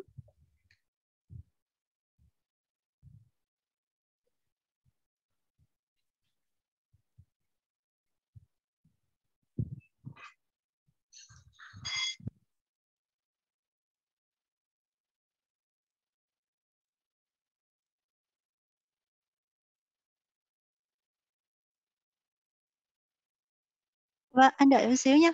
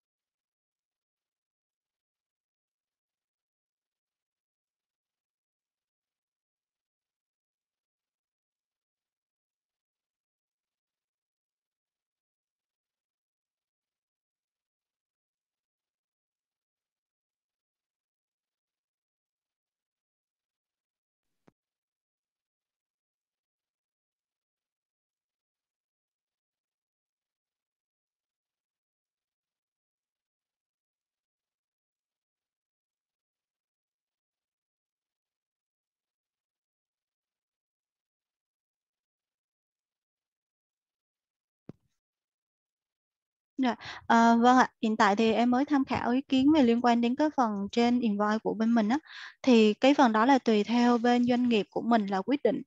Nó sẽ thuộc cái phần của mình đó là trên cái invoice của mình đó, nó có giá là gồm có giá nguyên vật liệu nhập về và cộng thêm cái chi phí gia công của mình hay là cái phần giá à, cái đó nó chỉ tổng cái thể cái dịch vụ của mình luôn cái đó là do doanh nghiệp quyết định đó, và nó vẫn có trường hợp đó là trường hợp mình sẽ chọn đó là trên cái invoice của mình là tổng cái chi phí dịch vụ của mình là bao nhiêu. Còn với cái trường hợp mà à, doanh nghiệp lựa chọn đó là để thể hiện luôn cả cái chi phí nguyên vật liệu hay là chi phí nhân công à, chi phí theo từng cái mặt hàng thì lúc đó thì anh tạo riêng một cái kho thành phẩm gia công riêng và anh vẫn thực hiện tính giá thành. Anh vẫn thực hiện tính giá thành theo cái phần mà à, gia công như lúc nãy ở trên đó, anh có để thì sau đó là anh phải kết chuyển cho cái phần mà à, 155 với cái 154 này của mình liên quan đến cái phần gia công của nó hết là qua cái tài khoản 1388 và anh vẫn tạo kho ảo vẫn làm được ở trên phần mềm nhé.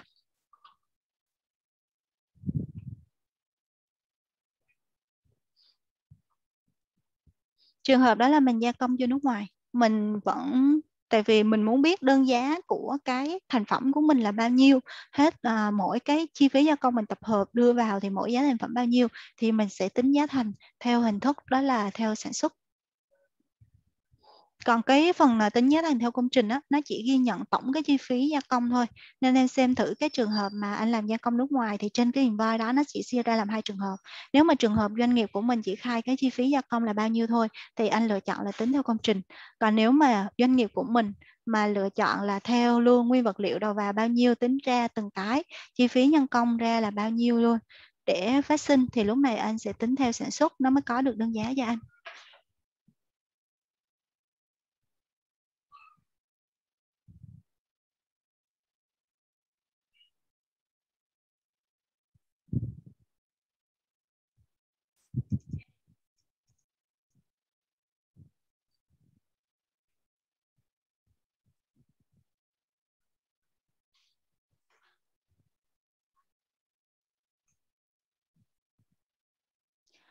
À, ở trên anh chị có hỏi. Số hóa đơn bán hàng kèm chi phí lắp đặt gia công. Chi phí lắp đặt là 20 triệu thì mình xuất hóa đơn riêng như vừa rồi em hướng dẫn. Và tùy theo cái mình nha cái ờ, phần mà anh chị xuất hóa đơn gia công mà gồm có cả à, chi phí lắp đặt và à, và cái hàng của mình thì mình vẫn kiêm phí xuất kho ở đây. Nhưng mà với cái trường hợp mà anh chị tạo với cái tính chất là dịch vụ á à, thì nó không có cần phải hạch toán kho.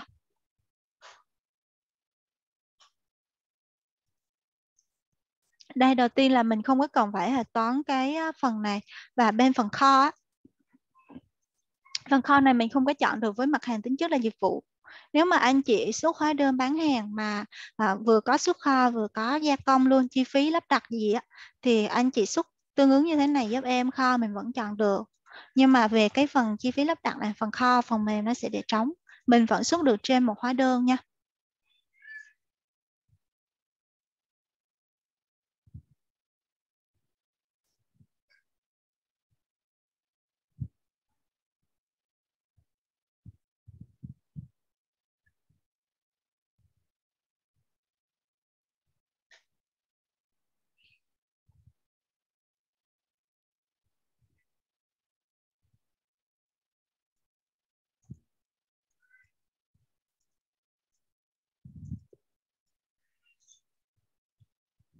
Anh chị trên invoice ghi ra là 200 áo với cái số lượng là 20k và váy với số lượng 300 và với cái số lượng là 50k thì tính giá thành theo công trình hay là theo số lượng.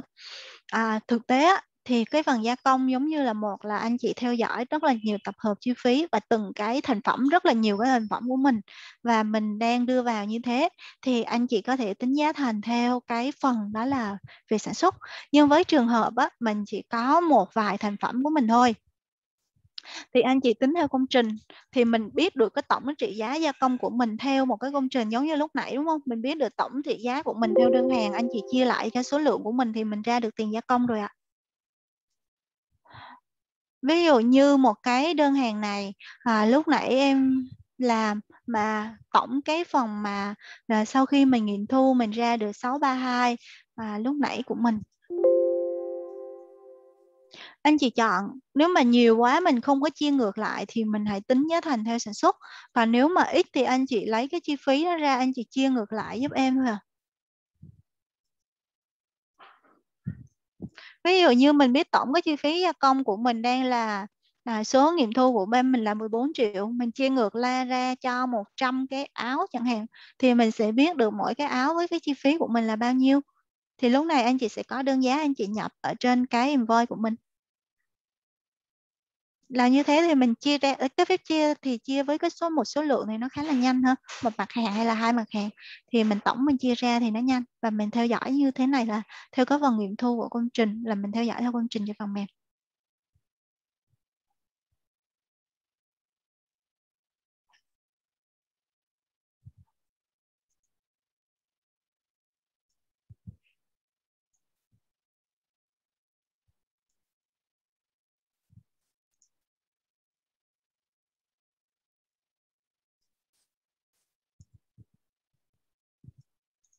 À, chị Uyên có hỏi là nếu mà xuất hàng ra tự gia công, đơn vị có máy móc vừa nhận gia công khách hàng, vừa nhận hàng gia công của khách, vừa tự gia công của doanh nghiệp, thì khi xuất kho ra để gia công và nhập kho thành phẩm để gia công thì có tích vào ô hàng nhận gia công hay không? Hay à, xuất kho để xuất kho nguyên vật liệu à, cái phần mà xuất kho ra thì chị khi mà vì cái nguyên vật liệu này của chị xuất ra ra vừa dùng cho uh, vừa dùng cho gia công tức là nguyên vật liệu mình tự bỏ ra xuất hàng ra để vừa tự gia công à, và vừa đi gia công cho bên đơn vị khác luôn tức là mình vừa sản xuất và mình vừa gia công thì chị xuất ra thông thường là chị chọn xuất sản xuất thôi không có chọn xuất hàng gia công gì cả.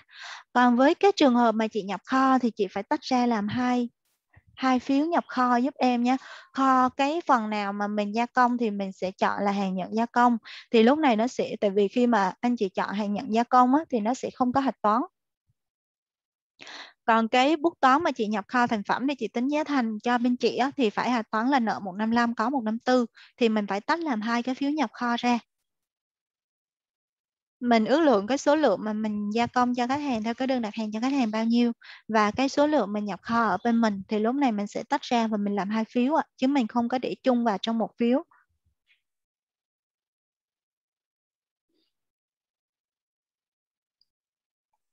Còn nếu mà trường hợp mà hàng của khách hàng họ mang cho bên mình á, họ mang cho bên mình để cho mình đi gia công, thì lúc này thì chị mới chọn ra là xuất kho là chọn là hàng gia công nhận giữ hộ còn trường hợp mà mình xuất nguyên vật liệu ra là mình làm xuất kho ra bình thường thôi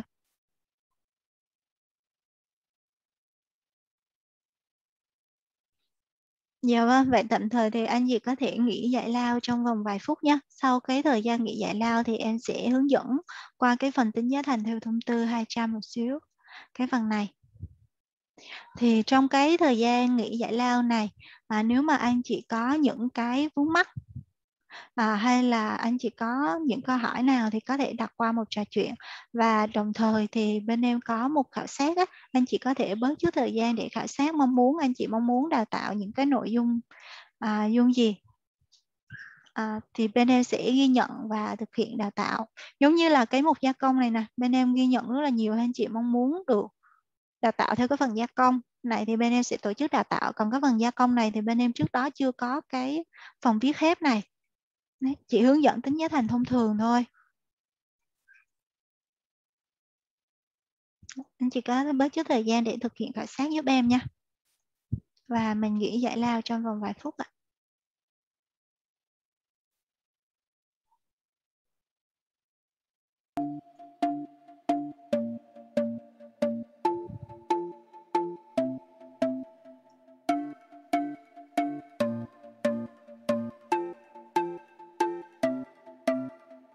Ngày, từng ngày trôi qua nơi đây. Trên môi luôn hé một nụ cười. Ngày, từng ngày trôi qua trong tim. Tình yêu cứ thế lớn cùng mi xa. Với bao sứ mệnh luôn công hiến cho xã hội. Phần mềm tiện ích cùng sự tận tình. Với bao khát vọng với ý chí quên thân mình. Hành trang vững bước là niềm tin của khách hàng luôn đi tiên phong với thử thách dân lối, dù biết phía trước sẽ đầy dây trông gai. Luôn mang trong tim bao nhiệt huyết đam mê, bàn tay vươn lên như những chiến binh. Mi xa với ước mơ bay cao, mang bao tự hào đến khắp mọi miền. Mi xa với khát khao vươn xa, sát vai nhau, chẳng ai chia những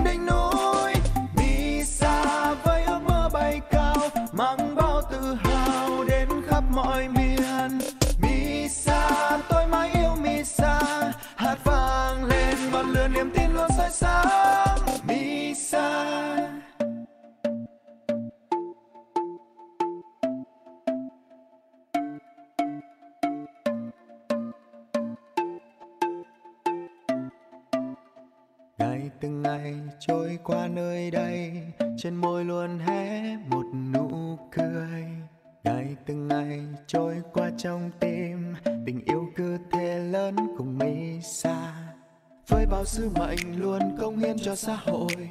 Phần mềm tiện ích cùng sự tận tình. Với bao khát vọng với ý chí quên thân mình. Hành trang vững bước là niềm tin của khách hàng luôn đi tiên phong với thử thách dẫn lối, dù biết phía trước sẽ đầy dây trông gai. Luôn mang trong tim bao nhiệt huyết đam mê, bàn tay vươn lên như những chiến binh. Misa với ước mơ bay cao, mang bao tự hào đến khắp mọi miền. Misa với khát khao vươn xa sát vai nhau, chẳng ngại trên những đỉnh núi.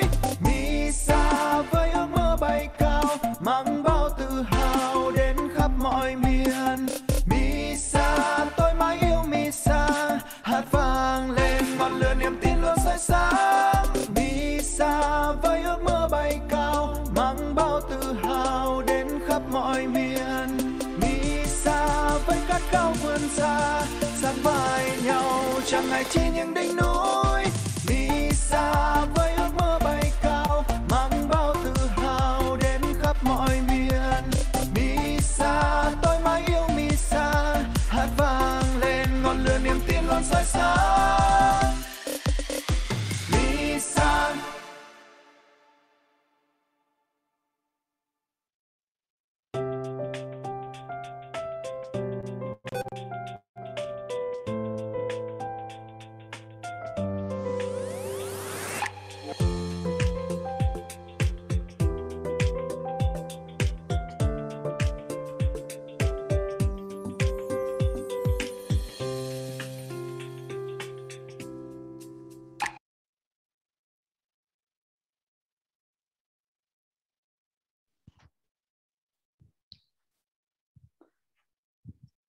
Dạ vâng ạ. Và em xin phép được tiếp tục chương trình đó.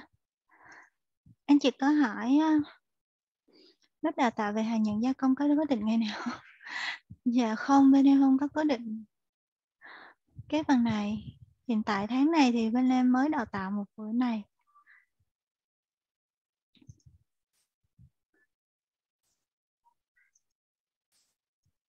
Dạ, hiện tại em sẽ ờ, ví dụ cho anh chị liên quan đến về thông tư 200 và em sẽ ờ, thực hiện phong bổ chung của nó anh chị sẽ hình dung hơn. Và đó là trường hợp lúc nãy là mình phát sinh một cái đơn hàng ha còn ví dụ như mình phát sinh nhiều đơn hàng thì mình sẽ làm tương ứng phong bổ chung nó sẽ lên số liệu như thế nào. Thì anh chị vẫn vào trong phần công trình để mình khai báo cái công trình luôn cho mình nha. Công trình theo ờ, đây là gia công theo đơn hàng. 001 có có cái ngày bắt đầu, ngày kết thúc thì mình điền, còn không thì mình có thể để trống nha. Về gia công. Gia công theo đơn hàng. 0002 ha.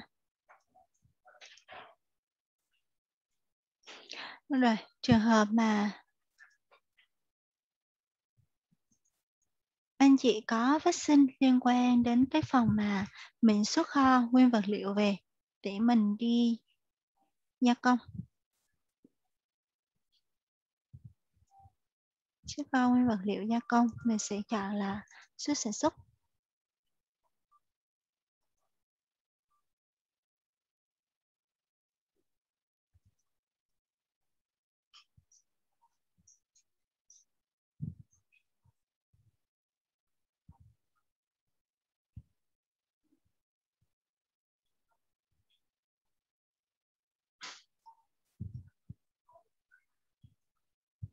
Giả sử như mình có thêm cái đơn hàng 02 à, là mình có nhận thêm cái phần đó là mình đính cúc áo hay là đính đá.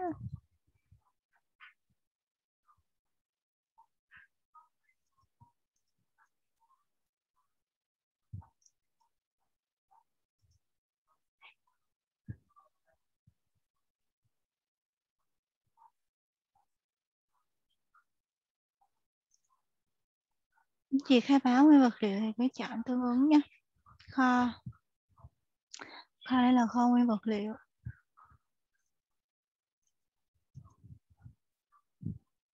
Trường hợp thì mình vẫn đưa vào 621 ở đây. Cái này là uh, tạm thời em sẽ để riêng nha. Tại cái phần này trong kho của em em chưa có nhập kho. Thì dẫn đến là nó sẽ xúc quá cái số lượng tồn của nó. Còn vải thì em xúc ra năm cụm vải đi để đi gia công. Trong ngày à, hôm 7 tháng 1 2021 mình đưa vào 621 giúp em không có thống kê theo cái khoản mục chi phí gì cả nha. Và cái vải này thực tế là mình dùng cho công trình và cái đơn hàng 01 thì mình sẽ chọn tương ứng với đơn hàng 01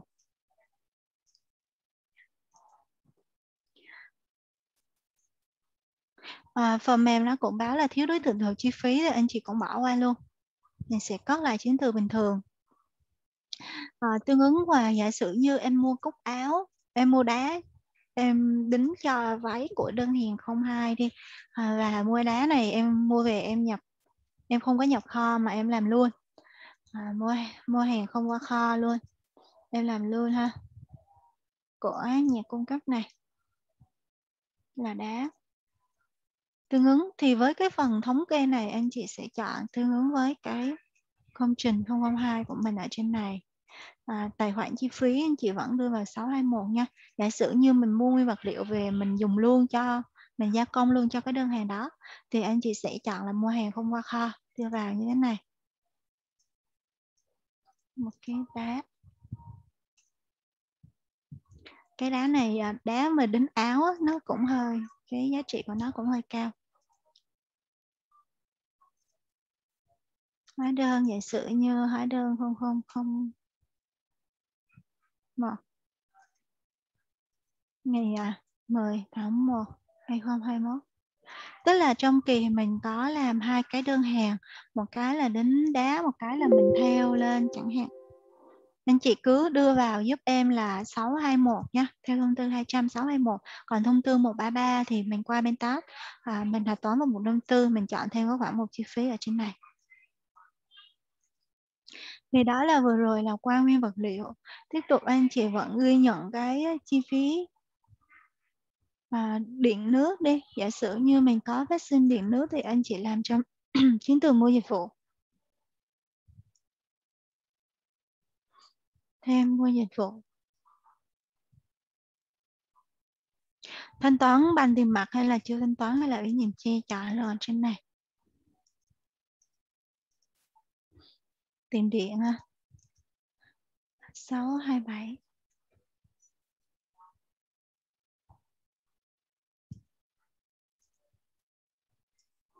à, tiền điện này. Và giả sử như tiền điện này em dùng tại vì mình dùng chung nên mình sẽ để trống cái phần công trình này.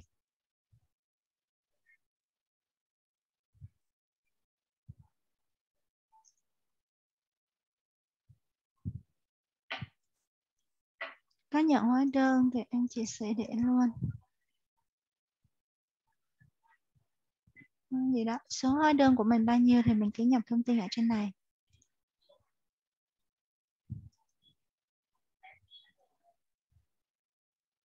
Tiền lương thì nếu mà anh chị tính lương ở trên phần mềm á, mình tạo cái phòng ban và mình chọn thì nó sẽ vào cái phần lương của mình theo cái tài khoản hạch toán.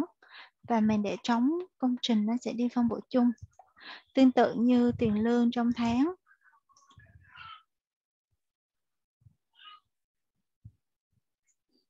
Đơn nhân công. À, gia công đơn hàng.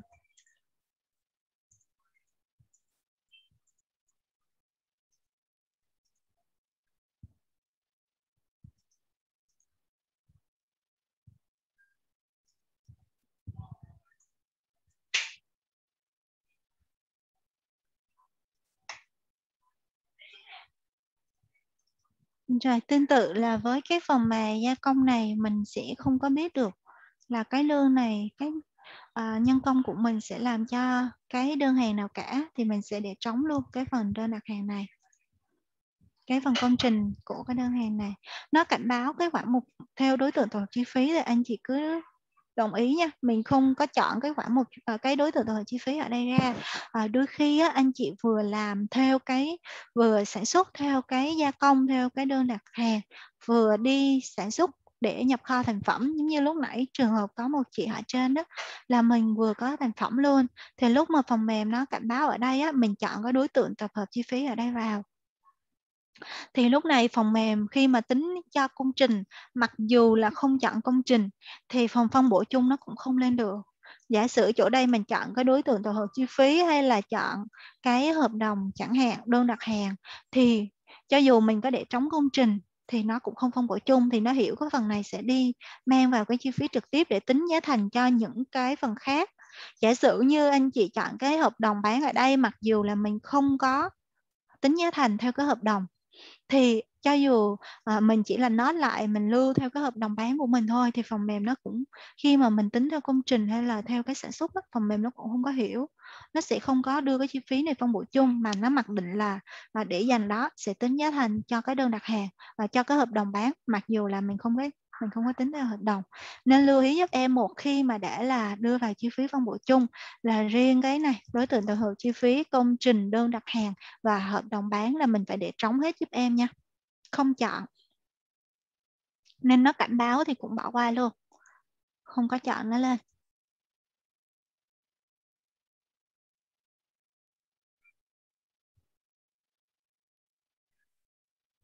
Ừ chị à, Nhung Nguyễn Tuyết có hỏi à, mình sản xuất sản phẩm trường hợp thông thường thôi không gia công. Thì à, tên công trình thì mình nhập chỗ đối tượng tổ hợp chi phí. Dạ đúng rồi mình sẽ nhập đối tượng tổ hợp chi phí. Và trường hợp mà mình tính giá thành theo sản xuất mình để trống á, thì nó sẽ đi phân bổ chung.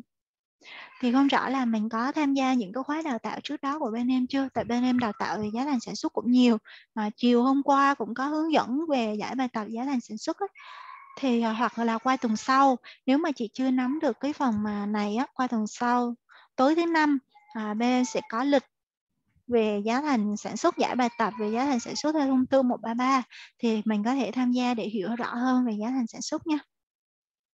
Còn anh chị cứ để trống giúp em là để nó phân bổ chung để trống hết luôn.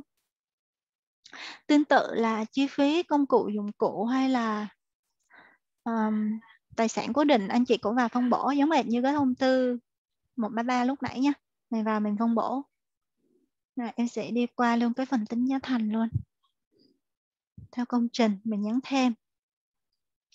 Tháng 1 à, em xin lỗi lúc nãy em chưa có tính giá xuất kho. Bài tính giá xuất kho thì cái lúc mà xuất chỉ ra nó mới ra được cái giá xuất kho cho mình.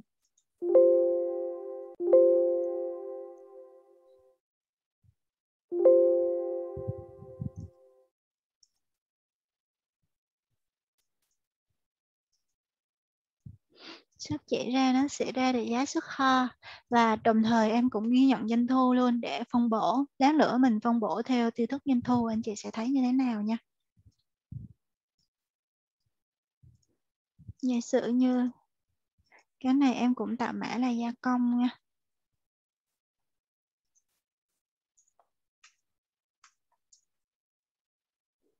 Cái trước là dịch vụ nó sẽ không có kho gì cả. Tài khoản là 5113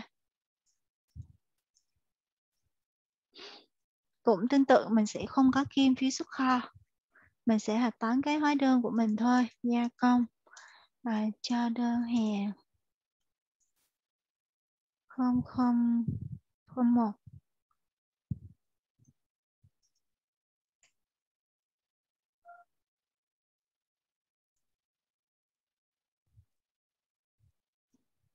Nếu anh chị ghi nhận chi phí và qua thống kê thì sẽ chọn công trình 001 này vào. À, cái bước thống kê này anh chị có thể chọn hợp đồng bán hay là đơn đặt hàng đều được nha. Không nhất thiết là đó không bắt buộc. Không bắt buộc là phải chỉ chọn một cái thôi. Chị chọn cái nào thêm bổ sung thêm cũng được nhưng mà ghi nhận chi phí thì chỉ ghi nhận một cái thôi. còn doanh thu thì muốn ghi nhận bao nhiêu cái cũng được hết lúc nãy em mà để cái này vào trong tháng 8 là em tính giá thành phân bổ doanh thu nó không lên nè. Cái này phải nằm trong tháng 1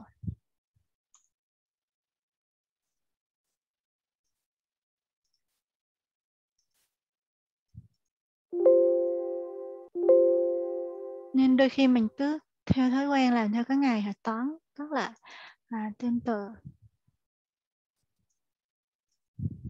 Tháng 1 em nhân bảng nó lên. Nhà công cho trên đặt hàng 002 của công ty này đây.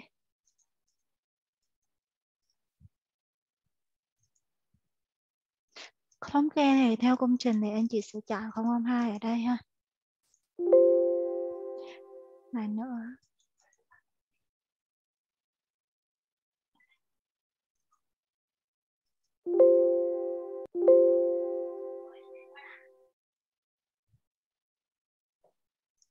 Rồi, thì mình sẽ đi tính nhất hành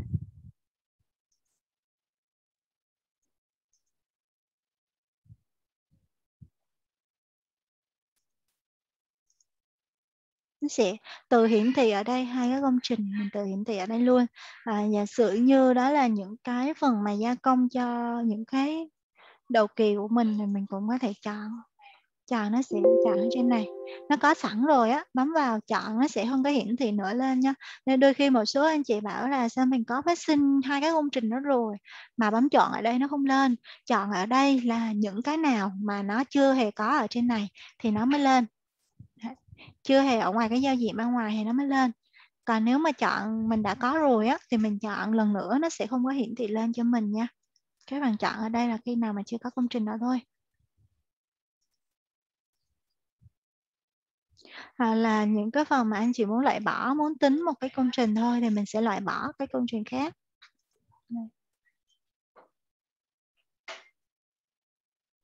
Này, mình sẽ cái này là tập hợp chi phí trực tiếp là xem xem cái phần chi phí này bỏ ra cái chi phí mình à, nguyên vật liệu. Đấy, những cái phần mà mình chọn trực tiếp đến cái công trình đó nó sẽ đưa vào chi phí trực tiếp luôn nha. Rồi, anh chị sẽ đi phân bổ chung. Theo tiêu thụ nguyên vật liệu thì nó có số liệu nó lên ha. Còn mình đem theo doanh thu chẳng hạn, anh chị sẽ chọn ở trên này. Thì nó sẽ phân bổ theo cái doanh thu của mình. À, nếu giả sử như của mình là mình đưa hết 100% mình chỉ có gia công cho những cái đơn hàng trong tháng này thôi mình sẽ đưa hết 100% còn trường hợp mà anh chị vừa có sản xuất mà vừa có cái phần này thì anh chị sẽ gõ lại cái tỷ lệ phần trăm thì còn bao nhiêu thì nó sẽ chuyển sang sản xuất. Còn nếu mà tính giá thành sản xuất trước á à, thì số mình gõ ở bên đó nha mình gõ cũng cái giao diện này cũng giống như vậy nè. Mình gõ ở bên đó trước thì qua bên này thì mình để lại số 100% mình đừng có gõ lại à, con số tại vì nó là 100% của số chưa phân bổ chứ nó không phải là 100% của con số tổng tiền. Nên chị vẫn để 100% nếu mà nó là lần tính giá thành tiếp theo lần sau. Còn lần đầu thì mình phải gõ lại cái phần trăm nha. Cái nào trước thì mình gõ lại phần trăm cái nào sau thì giữ nguyên. Giúp em. À, phần phân bổ chung này anh chị có một số anh chị có thắc mắc á, là cái chi phí đó của mình à, mình để qua những cái kỳ sau nó còn dở dang thì cái phần trăm này mình gõ lại đúng không? Thì không cái phần trăm này mình vẫn phải phân bổ hết. Còn cái phần dở dang bao nhiêu nó treo trên 154 nha. Còn cái phần trăm này mà anh chị không gõ anh chị cứ nghĩ ở đây là cái phần dở dang thì sẽ không có nha. Phần này là phần để cho mình làm để nó kết chuyển hết 621, 622, 627. Còn nếu không á, anh chị mà gõ cái phần trăm ở đây mà nó không đảm bảo nó bằng 100% trong tất cả các kỳ tính giá thành của mình. Nó không bằng 100%. À, tức là à, không nhất thiết ở đây phải là 100% nhưng mà không bằng 100% ở đây với điều kiện là anh chị phải trong cùng một cái tháng 1 này phải có thêm kỳ tính giá thành khác nữa và tổng hai kỳ hay là ba kỳ nó phải bằng 100%. Đấy. Còn nếu một kỳ thì nhất định chỗ này nó phải là 100% không được để không được gõ cái cái số khác 100% à, ờ, tại vì nếu mà anh chị làm như vậy thì cái tài khoản 621, 622, 627 nó sẽ còn số dư. Và theo nguyên tắc thì cuối kỳ hay là hoặc là anh chị tính cuối năm á, nó còn số dư thì nó sẽ không có đúng và theo cái thông tư 200 luôn là con số này mà nó còn số dư anh chị bảo là chị chỉ tính tháng 1 thôi mà chị vẫn để được không? Hay là à, bên chị chỉ làm cái tháng từng tháng mà đâu phải làm theo năm đâu thì theo mỗi tháng nó dư thì cũng bình thường. Nhưng mà mỗi tháng nó dư thì con số phân bổ chung này à, qua tháng 2 nó không có tự cộng cái con số đó nó sẽ đi phân bổ chung ở tháng 2 nữa ha. Theo thông tư 200 thì con số này mà anh chị mà không phân bổ hết ở tháng 1 thì qua tháng 2 nó không đi phân bổ chung cho anh chị đâu nha. Nên bắt buộc ở đây phải là 100% cho dù mình làm một kỳ à, mình tính kỳ theo tháng từng tháng hay là mình tính tiền theo năm. Anh chị lưu ý phần đó giúp em. Không riêng gì về phần tính giá thành theo công trình nha. Tất cả luôn sản xuất đơn hàng hợp đồng. Cái mang tính chất là mình phải đi phân bổ hết 100%. Rồi, sau khi phân bổ chung thì theo thông tư 200 nó sẽ có thêm một cái nghiệp vụ ở đây. Đó là cái chuyển chi phí. Đấy, anh chị bấm vào cái chuyển chi phí để chọn cái kỳ tính giá thành mình cái chuyển. Còn trường hợp mình nhiều kỳ quá thì mình chọn luôn ở trên kỳ nhấn chuột phải cái chuyển chi phí là nó ra chính xác cho mình luôn. À, đôi khi anh chị tạo nhiều cái kỳ tính giá thành đó, mình sổ xuống nó hơi nhiều. Còn ở đây mình chọn luôn nhấn chuột phải cái chuyển chi phí luôn ha. Đây là cái chuyển từ 621, 622, 627 sang tài khoản 154.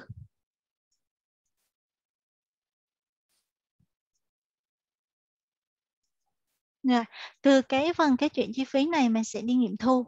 Thì ở cái bước nghiệm thu này nè, nó mới thuộc là đánh giá của mình có dở dang hay là không dở dang.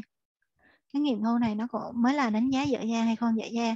Giả sử như là mình chưa có nghiệm thu cái công trình đó nó chưa có gì hết trơn á cái đơn hàng đó chưa có được gì hết thì mình để trống mình gõ cái phần trăm này. Còn nếu giả sử như là nó đã làm được 70 phần trăm rồi thì gõ lại 70 phần trăm của nó thì nó đưa vào cái giá vốn. Cái nghiệm thu này là bút toán nó kết chuyển sang giá vốn nha anh chị. À, giả sử như mình đi gia công cho cái cái hàng đó nhưng mà cuối năm mình chỉ mới có gia công được một phần thôi mà chi phí lương thì mình trả cho nhân viên hết. Đấy, những cái chi phí mình đã ghi nhận hết rồi nhưng mà mình chỉ xuất trả cho khách hàng đó một phần thôi còn những cái phần mình hoàn thiện sau thì anh chị cái phần nghiệm thu này thì mình gõ lại cái tỷ lệ. Còn nếu không thì anh chị để 100% nha. Hết là mình cứ để 100% còn không hết là nó treo trên dở dang trên một năm tư chứ mình không có được để vào cái phần chi phí.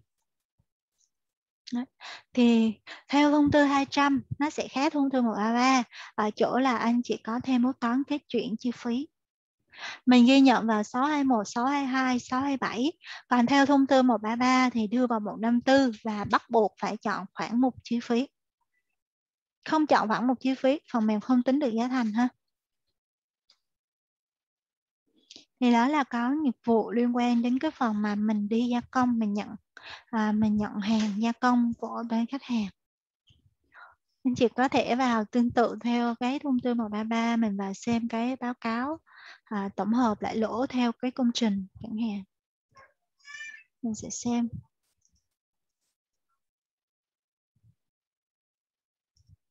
Đây. mình lỗ, à, cái này nó hiển thị số âm là lỗ nha còn nó dương là mình đang lại.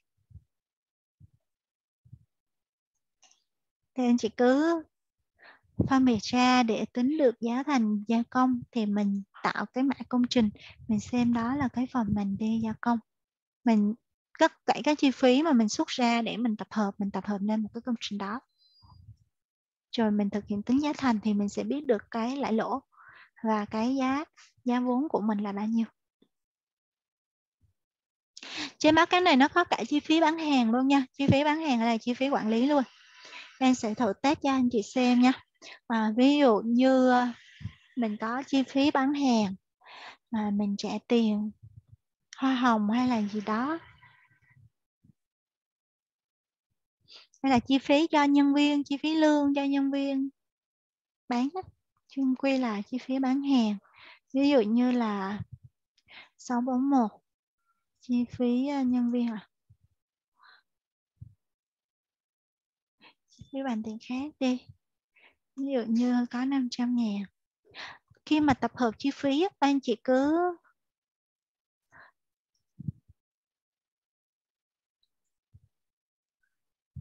anh chị cứ chọn đúng cái phần công trình đó giúp em nha. Nhờ có cái công trình này. Rồi cái chi phí của nó. Lại nữa. 20 tháng 1 2021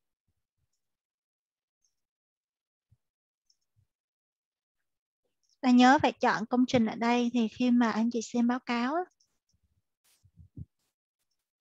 nó sẽ lên được chi phí bán hàng hay là chi phí quản lý. Chi phí khác um, ví dụ như 811 chẳng hạn anh chị hỏi toán đi 811 nó sẽ nhảy qua các cột chi phí khác này.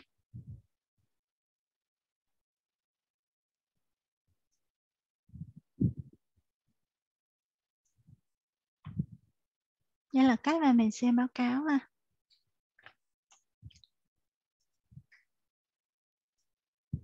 Đây vừa rồi thì em đã hướng dẫn qua về cái phần tính giá thành về gia công theo thông tư 200 hay là thông tư 133. Thì quan rõ là các anh chị nhà mình đã nắm được cái phần này chưa? Hay là có những câu hỏi nào thì anh chị có thể phản hồi qua một trò chuyện giúp em nhé.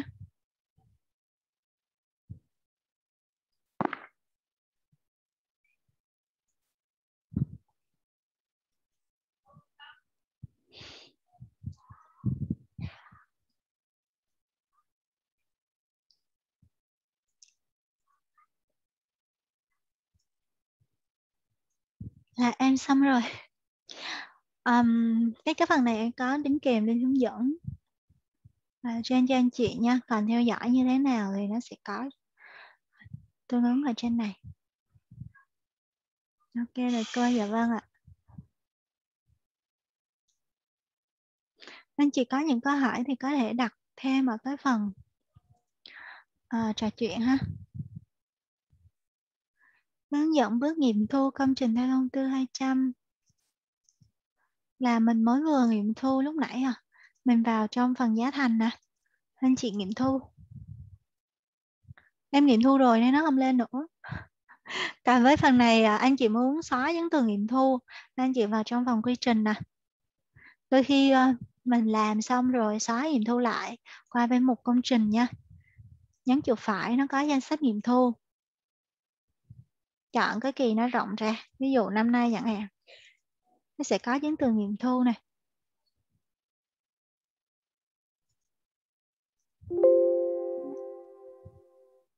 à, ờ, anh chị để lại email thì cuối buổi bên em sẽ tổng hợp và gửi luôn cái slide hướng dẫn này cho mình nha.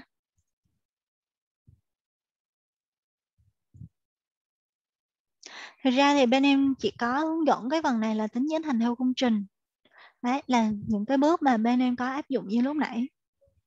Nên đôi khi mà anh chị xem tài liệu hướng dẫn á, thì nó sẽ không cái chi tiết bằng cái lúc mà mình tham gia cái khóa đào tạo đó ha. Vì bên em chưa có cái tài liệu viết riêng cho cái phần mà gia công gia công này. Nên nếu mà anh chị xem thì anh chị phải kết hợp với cái việc mà mình sẽ theo dõi cái phần đào tạo nữa. Anh chị mới nắm được là đầu tiên là vì sao mình lại chọn công trình hay là các bước tập hợp chi phí nó sẽ như thế nào? Anh chị à, mình sẽ nhấn chuột phải vào nghiệm thu này chị. Chị lấy dữ liệu thì nếu mà doanh thu chị có ghi nhận thì nó sẽ lên đây được cho mình. Và mình nghiệm thu công trình nào thì tích công trình đó hay là tất cả các công trình đều được. Không bắt buộc là mình sẽ nghiệm thu theo một cái công trình.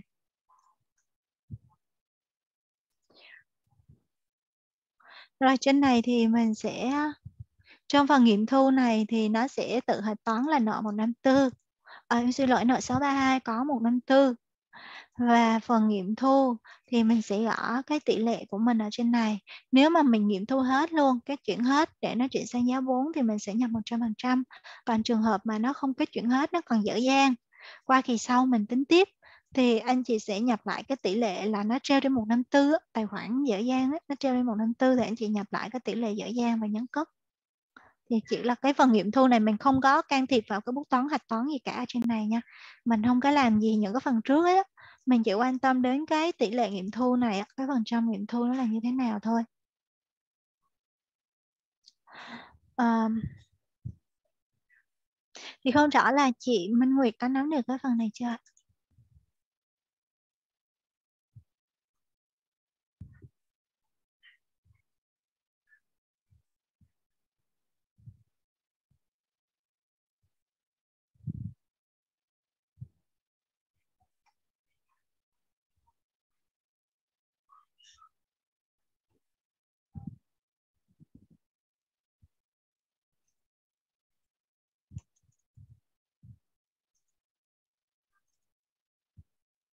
Thì em vừa đi lại các phần hướng dẫn nghiệm thu á, thì không rõ là chị Mai Nguyệt có còn trong châm không ạ? Có thể phản hồi lại qua phần trò chuyện giúp em nhé.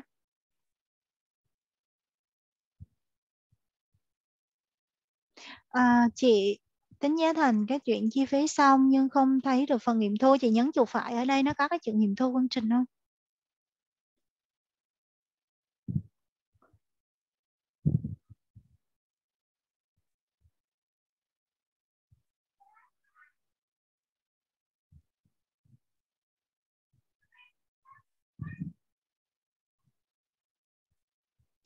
Chị uh, ờ, chọn cái phần công trình nhấn chuột phải chị chụp hình cái đó luôn giúp em thử. Có cái phần nghiệm thu hay là không nhé cái link tài liệu link tài liệu đó là phần mà hướng dẫn tính giá thành này. À, vâng anh chị nếu mà cần thì em sẽ gửi lại luôn trong một trò chuyện nhé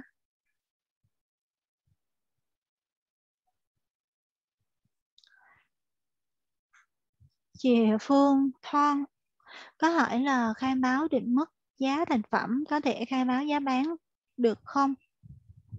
À, anh chị có thể khai báo giá bán được nhưng mà tốt nhất là mình nên khai báo cái đầu vào của mình đó.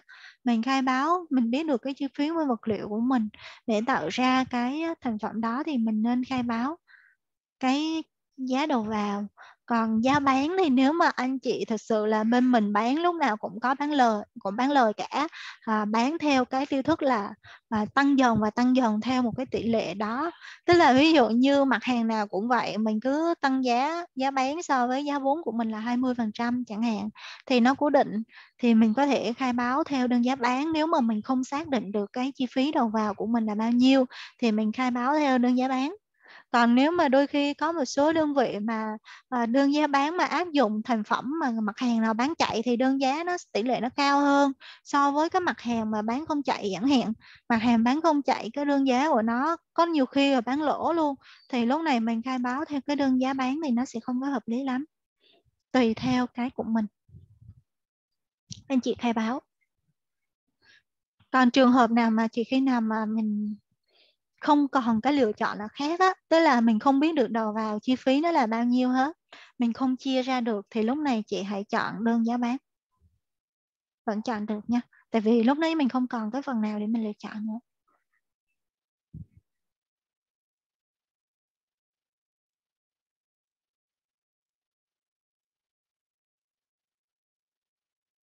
À, anh chị xem, anh chị cứ để lại email, trong email bên em sẽ gửi lại cái link slide và đồng thời gửi lại cái video à, đang ghi trực tiếp ở trên này luôn.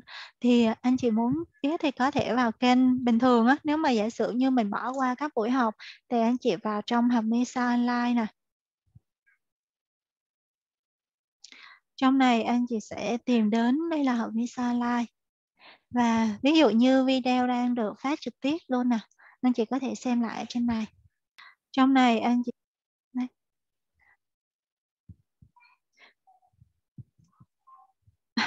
À, chị Vân Vân Nguyễn bảo là vậy tôi hiểu rồi cảm ơn vâng chị anh chị mà chat ở ngoài cái kênh youtube này á bên em sẽ không có phản hồi được hay là không có trả lời được câu hỏi của mình à, à các anh chị mà nếu mà xem mà trên kênh youtube á, thì anh chị sẽ tham gia anh chị tham gia vào phòng Zoom luôn giúp em nhé. ID có để ở trên trên cái màn hình. À, chị Nguyệt ơi, chị gửi luôn trực tiếp vào đính kèm luôn trong cái trò chuyện ở trong Zoom luôn giúp em nha. Mình bấm vào cái phần đính kèm luôn chứ bây giờ em không có qua được cái rút Zalo ở trên này.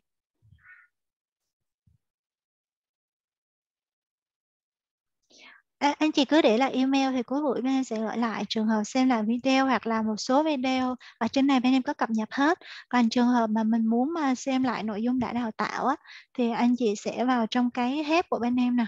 Vào trong đào tạo nội dung trực tuyến và xem lại video các buổi đào tạo thì bên em sẽ cập nhật ở trên này. Trước đó có giá thành tính giá thành theo từng cái phương pháp. Thì sẽ có link dẫn đến cái video anh chị có thể xem ở trên này ha hết thì mình có thể là à, trên phần mềm á, anh chị nhấn phím F1 tại một cái giao diện nào đó hoặc là nhấn giúp. Giúp nè trên cái giao diện mình nhấn giúp thì nó sẽ ra. Và mình bấm vào cái phần này nó sẽ ra được hết. Hoặc là vào trợ giúp nội dung trợ giúp online nó sẽ lên được.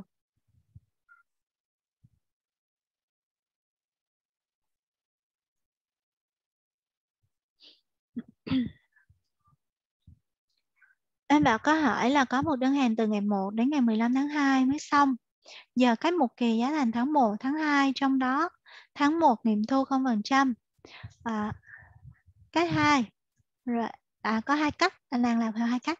Cái hai là chọn luôn kỳ là 1 đến 15 tháng 2 và cách 3 Cách 3 là tạo một kỳ giá thành tháng 1, kỳ giá thành tháng 2 ba cách thì cách nào ok nhất? Ờ, ba cách thì cách nào mình chọn cũng được nhưng mà đầu tiên á là, là cái anh nên lựa chọn theo cách một hoặc là cách hai. Cách một hay là cách hai. Còn cách ba thì mình vừa tách ra giữa cái việc mà anh tách ra là một kỳ tháng 1 sau đó một kỳ là từ ngày 1 đến ngày 15 thì nó cũng nếu như thế thì mình sẽ lựa chọn cái cách là từ ngày 1 tháng 1 đến ngày 15 tháng 2 thì nó sẽ tiện hơn. À, và còn giữa cái cách 1 và cái cách 2 thì cái cách một là anh sẽ tập hợp được chi phí anh biết được từng tháng lúc mà mình nhìn vô cái kỳ tính giá thành của mình ở trên cái giao diện tính giá thành của mình á mình rất là dễ kiểm soát luôn mình vào từng tháng từng tháng thì tổng cộng giả sử như công trình thì nó chỉ có 12 tháng thì nó sẽ có 12 kỳ cho anh. Còn với cái trường hợp mà anh chia ra từng cái khoảng thời gian anh làm á, thì nó sẽ đảm bảo được cho anh là chi phí nó xuyên suốt từ kỳ này đến kỳ kia. Và nhưng mà trên cái giao diện nó sẽ hơi khó nhìn một xíu, là mình phải kiểm soát trong cái khoảng thời gian đó, nó hơi khó nhìn. Nhưng mà được cái là cái phần lúc mà nó nghiệm thu á, là lúc mà anh vào cái nghiệm thu cái công trình luôn thì nó sẽ nghiệm thu tại thời điểm là ngày 15 tháng 2 luôn chứ anh làm tháng 1 tháng 2 thì tại thời điểm nghiệm thu là nó nghiệm thu vào ngày 30 chẳng hạn à, 28 tháng 2 nhưng mà doanh thu thì anh đang ghi nhận trước đó. Thì nếu mà anh chấp nhận vào đó thì anh làm theo từng kỳ còn nếu không thì anh tạo một kỳ từ ngày 1 đến ngày 15 cũng ok nhé À, nhưng mà nó sẽ hay gặp cái tình trạng á, tại vì mình thống nhất luôn trong một năm của mình. Còn nếu không là đến cái ngày 31 tháng 12 á, đến cái kỳ cuối cùng á, giả sử như từ ngày 1 tháng 12 đến ngày 15 tháng 1 năm sau chẳng hạn, thì anh tạo như thế mà dữ liệu cuối năm thì bắt buộc anh phải chốt. Thì anh phải tạo một cái kỳ thôi là từ ngày 1 tháng 12 đến ngày 30, 31 tháng 12 thôi. Chứ không có được tách riêng ra hai kỳ như vậy. Chỉ có trong năm mới được tách riêng ra thôi. Thì cái phần nào cũng được thì mỗi cái em có nêu ra cái ưu nhược điểm của nó thì anh bảo có thể tùy, tùy theo cái đơn vị của mình. Thì mình theo dõi. À, với cái hình ảnh này của chị à, à với hình ảnh này của chị Nguyệt gửi á, thì tức là mình chưa tạo kỳ tính giá thành luôn. Mình chưa tạo kỳ tính giá thành thì mình không có nghiệm thu được cái công trình ha.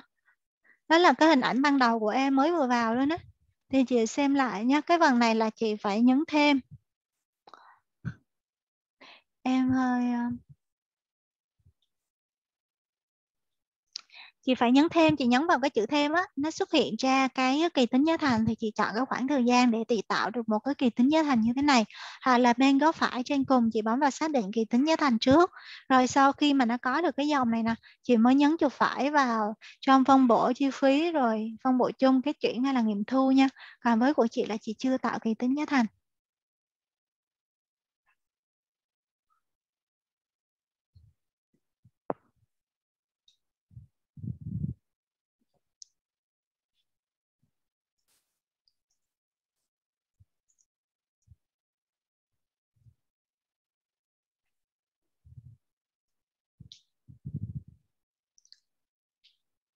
À, dạ vâng, à, anh chị á, à, anh chị Kim Anh có hỏi là công ty của bên mình là nội thất gia công, à, khách hàng giao nội thất nhận gia công khách hàng giao nguyên vật liệu qua mình gồm gỗ, vật tư ốc, nguyên vật liệu chính phục vụ thì nhập kho thì một nhập kho mình sẽ nhập mua hàng không qua mình nhập hàng không qua kho phải không?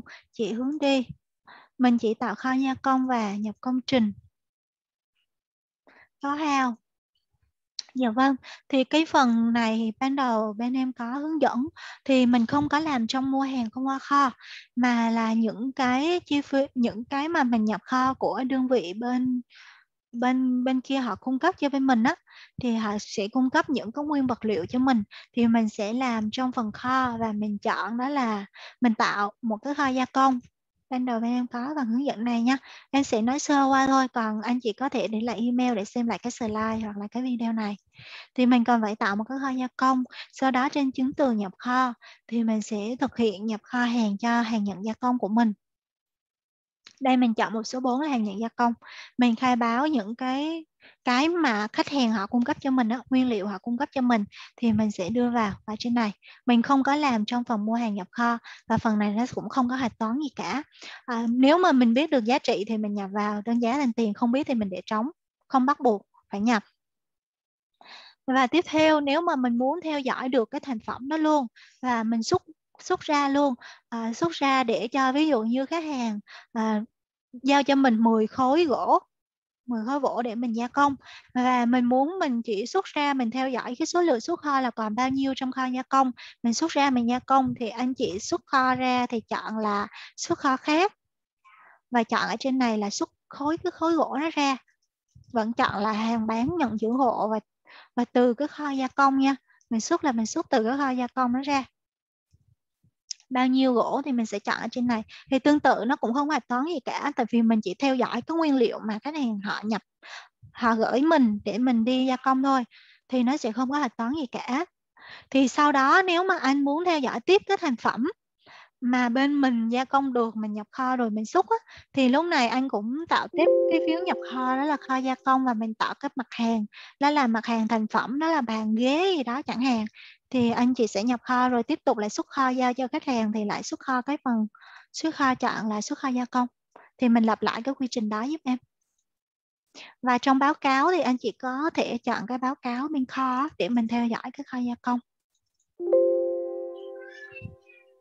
Cái phần xuất kho gia công ra là ngoài cái xuất kho trả cho khách hàng, mình còn xuất kho có nguyên vật liệu đó ra nếu mà anh chị theo dõi.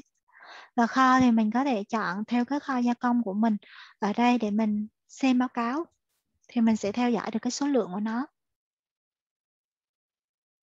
Thì ở trên là anh chị Kim Anh có hỏi cái phần này á thì không rõ là chị đã nắm được chưa đó là mình theo dõi phần kho thôi còn cái phần mà nguyên vật liệu xuất ra để cho mình uh, ghi nhận chi phí thì mình tạo công trình mình tính giá thành giống như em đang hướng dẫn lúc nãy ha.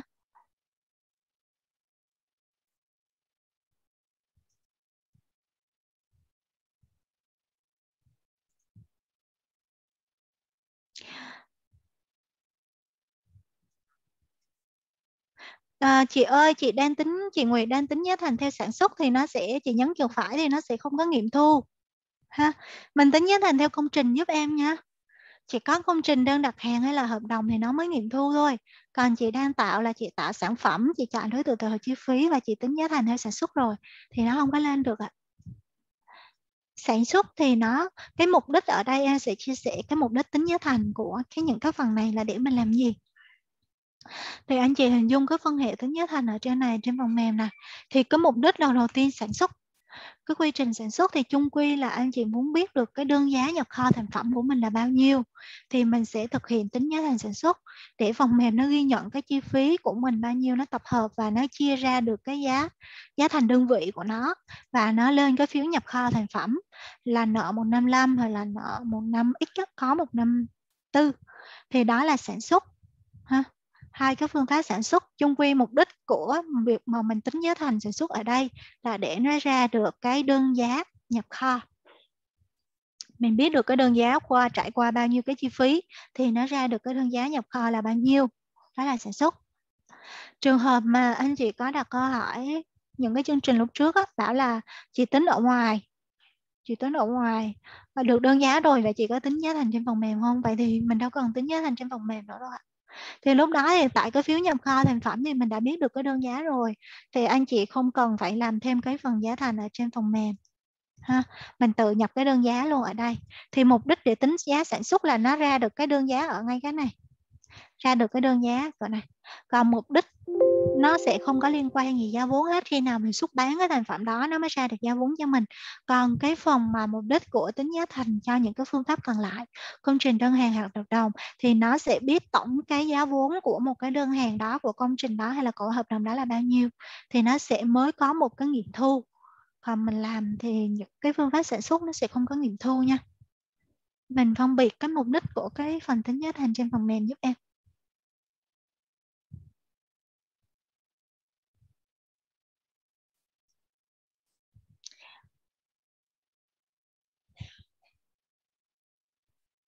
Giá thành và giá vốn có khác nhau và giá thành là chung quy là bên mình sản xuất. À, hoặc là mình tập hợp chi phí để mình đưa lên thì nó là giá vốn thì nó là một. Còn với trường hợp là bên chị mà mua hàng à, mua bên thương mại đi mình mua hàng thì ờ, rồi mình bán hàng đó thì mình cũng có thể gọi đó là giá vốn hàng bán của mình mình mua về mình nhập kho rồi mình xuất ra, thì cái đó cũng là giá vốn. Vậy thì giá vốn và giá thành tại cái quy trình đó thì nó lại khác nhau, tại vì nó không liên quan gì đến giá thành hết. Cái giá thành nó chỉ nhằm mục đích để mình tập hợp chi phí, mình sản xuất hay là mình ghi nhận những cái chi phí, dịch vụ của mình để mình tính lên. Còn giá vốn ở đây nó rộng hơn, giá vốn nó sẽ quy về cái trong kỳ của mình chi phí vaccine bao nhiêu ra, được giá vốn là bao nhiêu thì giá vốn nó sẽ gồm có giá vốn hàng bán giá vốn dịch vụ hay là à, giá vốn đơn giản là thương mại chỉ mua bán hàng thôi nó cũng ra được giá vốn chứ nó không có giá thành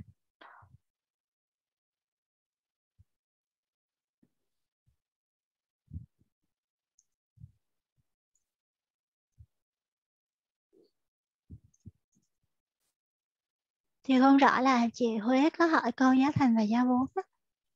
thì chị có hình dung được cái phần này chưa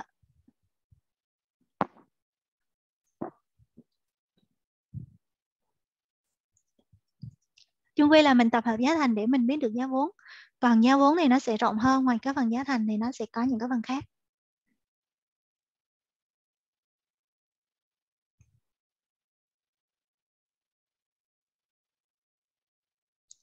Um, chương trình đào tạo sáng hôm nay bên em sẽ đến 10 11 giờ. Anh chị có những câu hỏi thì có thể đặt giúp em.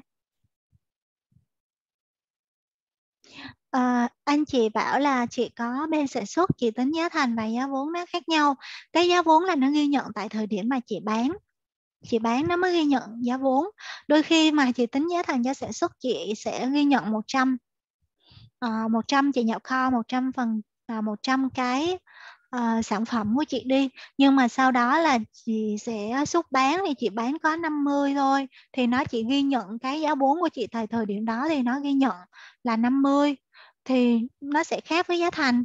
Khi nào mà chị xuất bán hết cái phần giá đó luôn chị xuất bán trong cái giá thành của chị chị sản xuất bao nhiêu chị xuất bán hết luôn. Và đầu kỳ chị không có dở dang luôn. Đầu kỳ chị không có những cái thành phẩm đầu kỳ luôn thì thôi cái này nó bằng nhau. Còn nếu mà giả sử đầu kỳ chị có và thành phẩm những cái thành phẩm đó thì nếu mà chị tính giá vốn á, nó sẽ tính căn cứ từ đầu ra nó tính theo cái phương pháp tính giá xuất kho của nó. Thì giá vốn và giá thành nó sẽ khác nhau nha.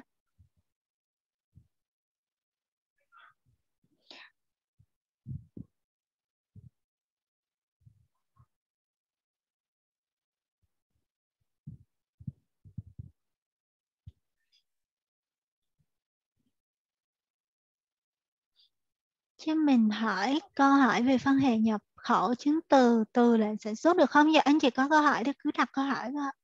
Trong cái phần giải đáp sau cùng thì em sẽ giải đáp tất cả các phần. À, chị Nguyệt có hỏi là trường hợp nào thì mình tính giá thành theo công trình. À, đầu tiên là mình không liên quan gì đến thành phẩm của mình hết nhập kho thành phẩm thì mình sẽ tính giá thành theo công trình thì áp dụng cho những cái trường hợp ví dụ như là đầu tiên là bên xây dựng đã bên xây dựng lắp mà à, bên xây dựng thì chị sẽ dùng theo công trình ha. À, rồi à, bên gia công giống như là lúc nãy em có hướng dẫn là liên quan những cái phần chi phí mình tập hợp á để mình biết được cái giá dịch vụ của nó hoặc là bên vận tải chị muốn biết là một cái đầu xe đó à, chi phí của nó hoặc là một chuyến đi của nó nó sẽ mình sẽ tốn bao nhiêu chi phí mình ghi nhận giá vốn để mình có thể sử dụng bên công trình. À, chị May có, chị May Nguyễn có hỏi là bên chị tư vấn thiết kế xây dựng thì làm theo công trình thì làm thế nào? Thì chị xem một cái, khi mà chị tư vấn thiết kế theo hợp đồng, chị xem một cái hợp đồng đó như là một cái công trình. Chị vào công trình, chị khai báo tương ứng rồi chị tập hợp cái chi phí. Trong những cái chi phí là liên quan đến cái phần thiết kế đó thì mình sẽ đưa vào cái công trình rồi mình tính giá thành. Giống mà như cái phương pháp tính giá thành theo công trình lúc nãy em hướng dẫn. Hoặc là chị tính giá thành theo hợp đồng cũng được nha mình tạo hợp đồng, mình tính giá thành theo hợp đồng luôn cũng được. Ba cái phương pháp ờ, công trình hợp đồng hay là đơn hàng nó sẽ như nhau.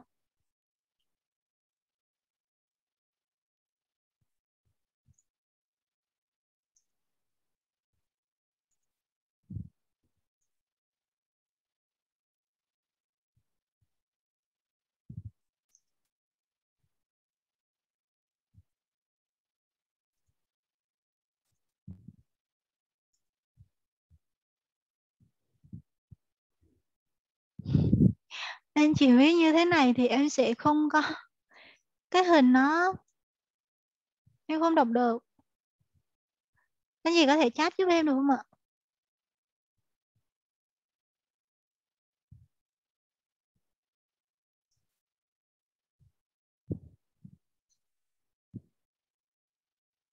À, anh chị bên công ty Nip Thiên Phúc có hỏi là dữ liệu chị thấy đang bốn người truy cập nhưng thực tế là mình chỉ có một người sử dụng.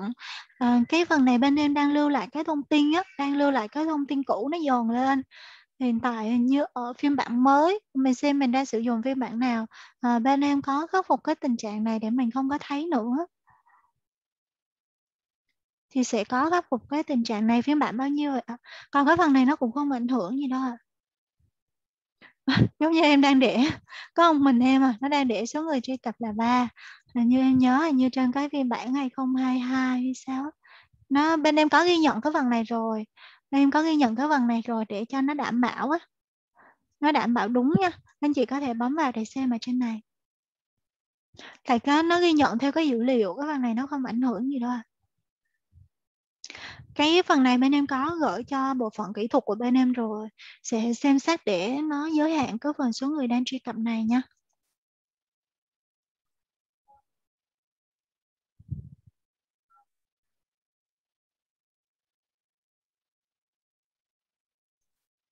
Anh chị ờ,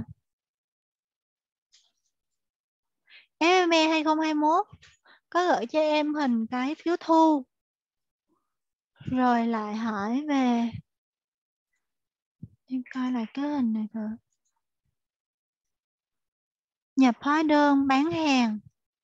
Ở trên là chị đang nói là nhập từ, nhập khẩu chứng từ từ à từ Excel. Em lại đọc là nhập khẩu từ Excel thì làm thế nào để nhập khẩu được tên người nộp tiền địa chỉ trên phiếu thu? Là như thế đúng không ạ? Em đọc ở trên viết tắt thì em em đọc nhầm qua lệnh sản xuất, em là liên quan đến cái phần giá thành. Nên nhìn cái phiếu thu nó hơi à, hơi khó hiểu. Sorry chị. Phiếu thu này ạ. Em coi thử.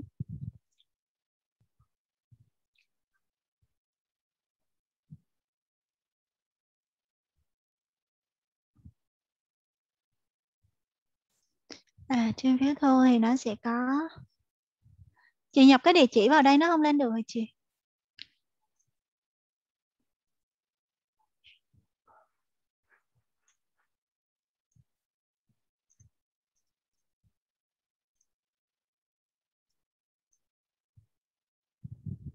Phiếu thu à, test nha.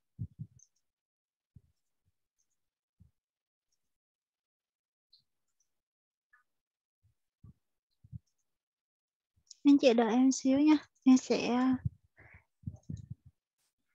mã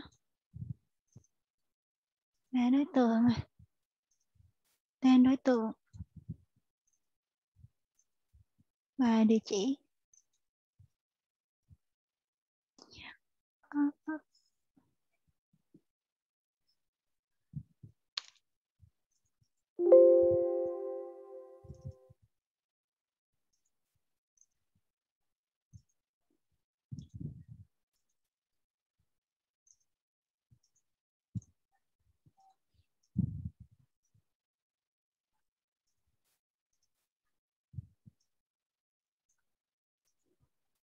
811 có 111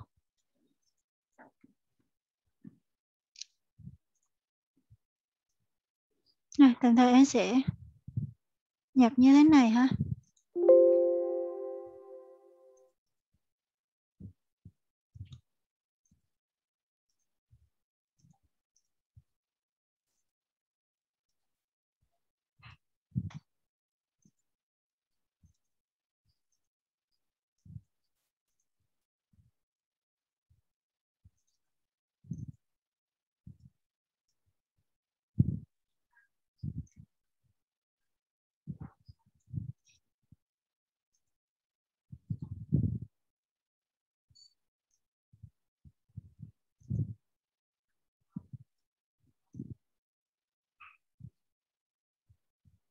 Thu mà để cho phần chi? Thì là của 111 có 711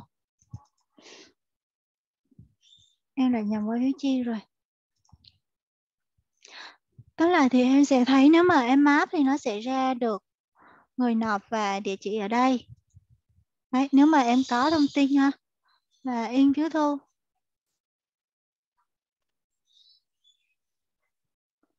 Viết thôi, nó vẫn lên được à?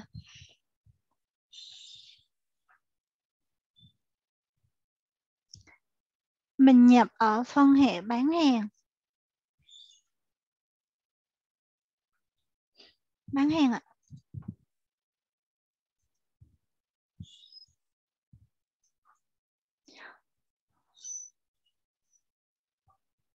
Bán hàng ha.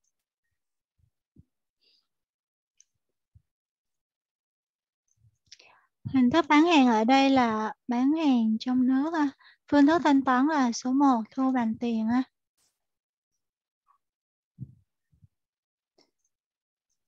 À, em sẽ cho chưa không lập không lập kèm hóa đơn nha.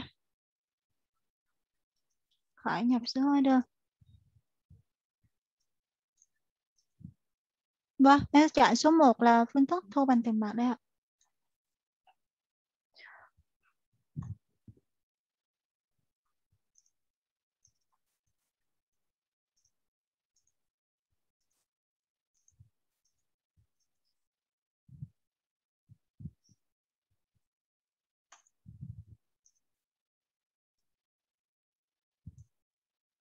Em sẽ không kim phí xuất luôn nha. Cái phần này nó không ảnh hưởng đến cái phần mà thu hay không đâu.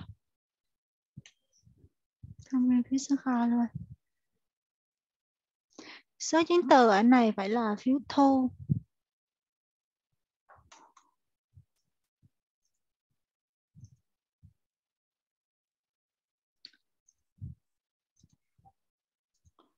Mã khách hàng.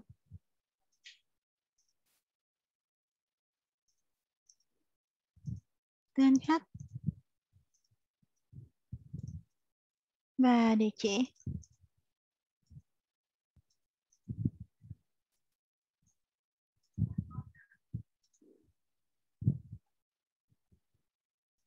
Mã hàng gia công lúc nãy ha.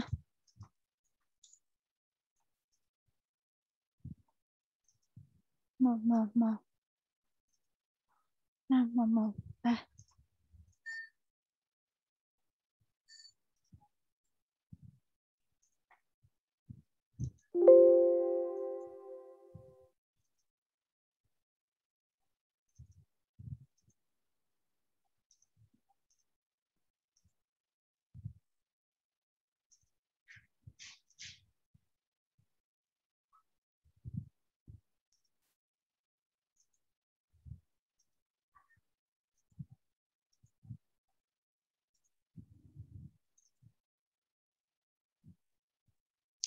Đây là hình thức mình thu tiền ngay trên phiếu thu có các địa chỉ thông tin người nộp.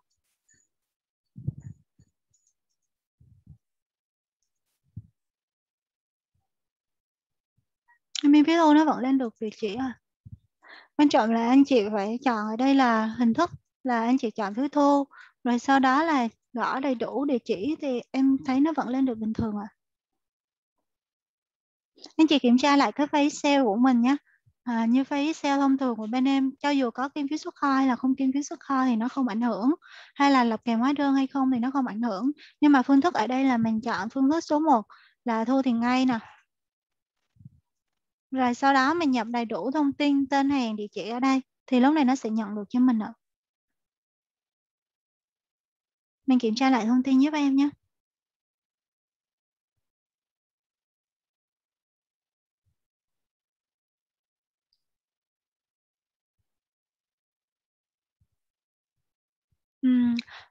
À, chị Nguyễn Luyên Nguyễn Luyến có hỏi là chị không theo dõi từ đầu bên chị nhập à, bán thành phẩm xong xuất đi gia công rồi nhập kho thành phẩm để bán cái thành phẩm này thì cái phần này nó không có theo cái phần giảng này ha? Cái phần này thì chị làm theo cái hướng dẫn tính giá thành sản xuất giúp em. Hàng nhận tính giá thành gia công.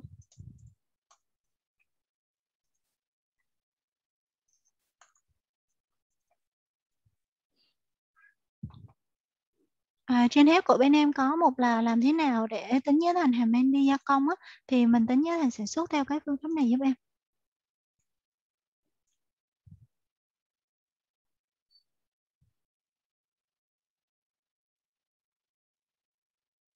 À, bạn Khanh có gửi luôn cho mình ở trên này.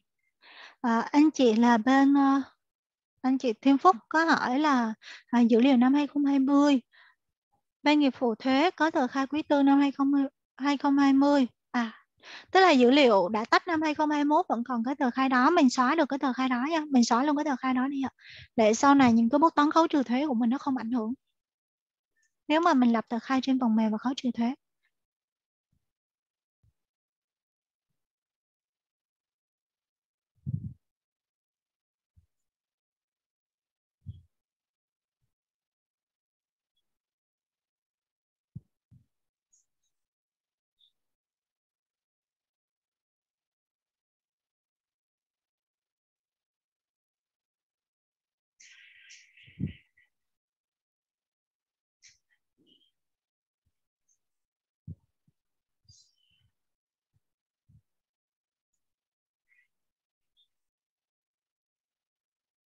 À, anh Bảo có hỏi là phần bán hàng của mình với cái phần 3 tỷ giá chia ra từng cách thì những cái phần này nếu mà khách hàng thanh toán trước cho anh thanh toán lần 1, thanh toán lần 2, thanh toán lần 3 thì với những cái phần này thì những cái chứng từ thanh toán trước anh không có làm trong chứng từ bán hàng.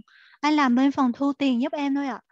còn khi nào mà anh bán hàng ra thì cái phần đó thì anh mới làm giúp em. Anh mới chia cái tỷ giá bình quân ra. Tỷ giá mà ghi nhận công nợ khi mà khách hàng thanh toán trước anh chia cái tỷ giá bình quân ra để anh nhập vào vào một cái chứng từ bán hàng. Nếu mà anh ghi nhận doanh thu của anh tại thời điểm đó còn tại thời điểm mà anh thu tiền về thì anh không có làm trong bán hàng anh làm trong phiếu thu tiền thông thường thì lúc này anh sẽ vào đối trừ chứng từ nhé.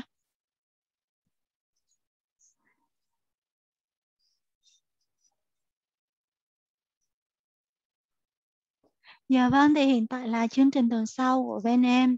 Thì em sẽ gửi lại cái à, chương trình lần sau nha. Anh chị có thể là xem lại các nội dung à, chương trình lần sau để mình có thể sắp xếp thời gian tham gia ở trên này. Hiện tại với những câu hỏi của anh chị thì nếu mà hôm nay chưa được giải đáp hết thì cũng rất là mong anh chị thông cảm.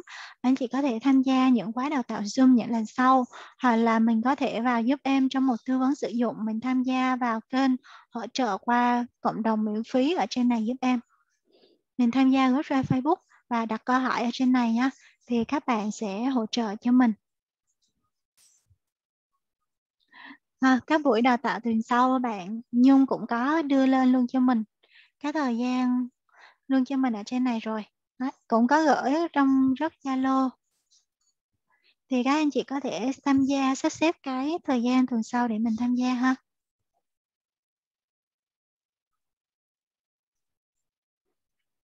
Dạ vâng, thì hiện tại là hôm nay đã xong cái phần tính giá thành gia công. Rất là hy vọng sau buổi đào tạo anh chị sẽ nắm được cái phần theo dõi được cái hàng nhận gia công và biết được cách tính giá thành của cái hàng nhận gia công này.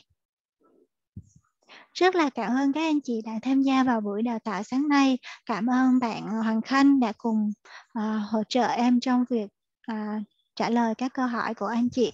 Uh, chúc anh chị có một buổi cuối tuần vui vẻ và buổi trưa ngon miệng. Dạ vâng, à, và anh chị có thể chia sẻ chương trình, nếu thấy chương trình hữu ích thì có thể chia sẻ giúp em đến các bạn bè và đồng nghiệp của mình để cùng tham gia chương trình ha. À, anh chị nào chưa để lại email á và sau chưa để lại email thì tranh thủ để lại email luôn giúp em. Cuối buổi lát nữa bên em sẽ tổng hợp và gửi lại luôn cho mình nha. Dạ vâng, xin chào các anh chị và gặp lại, hẹn gặp lại các anh chị vào tuần sau. Và em cảm ơn các anh chị ạ, chúc anh chị cuối tuần vui vẻ.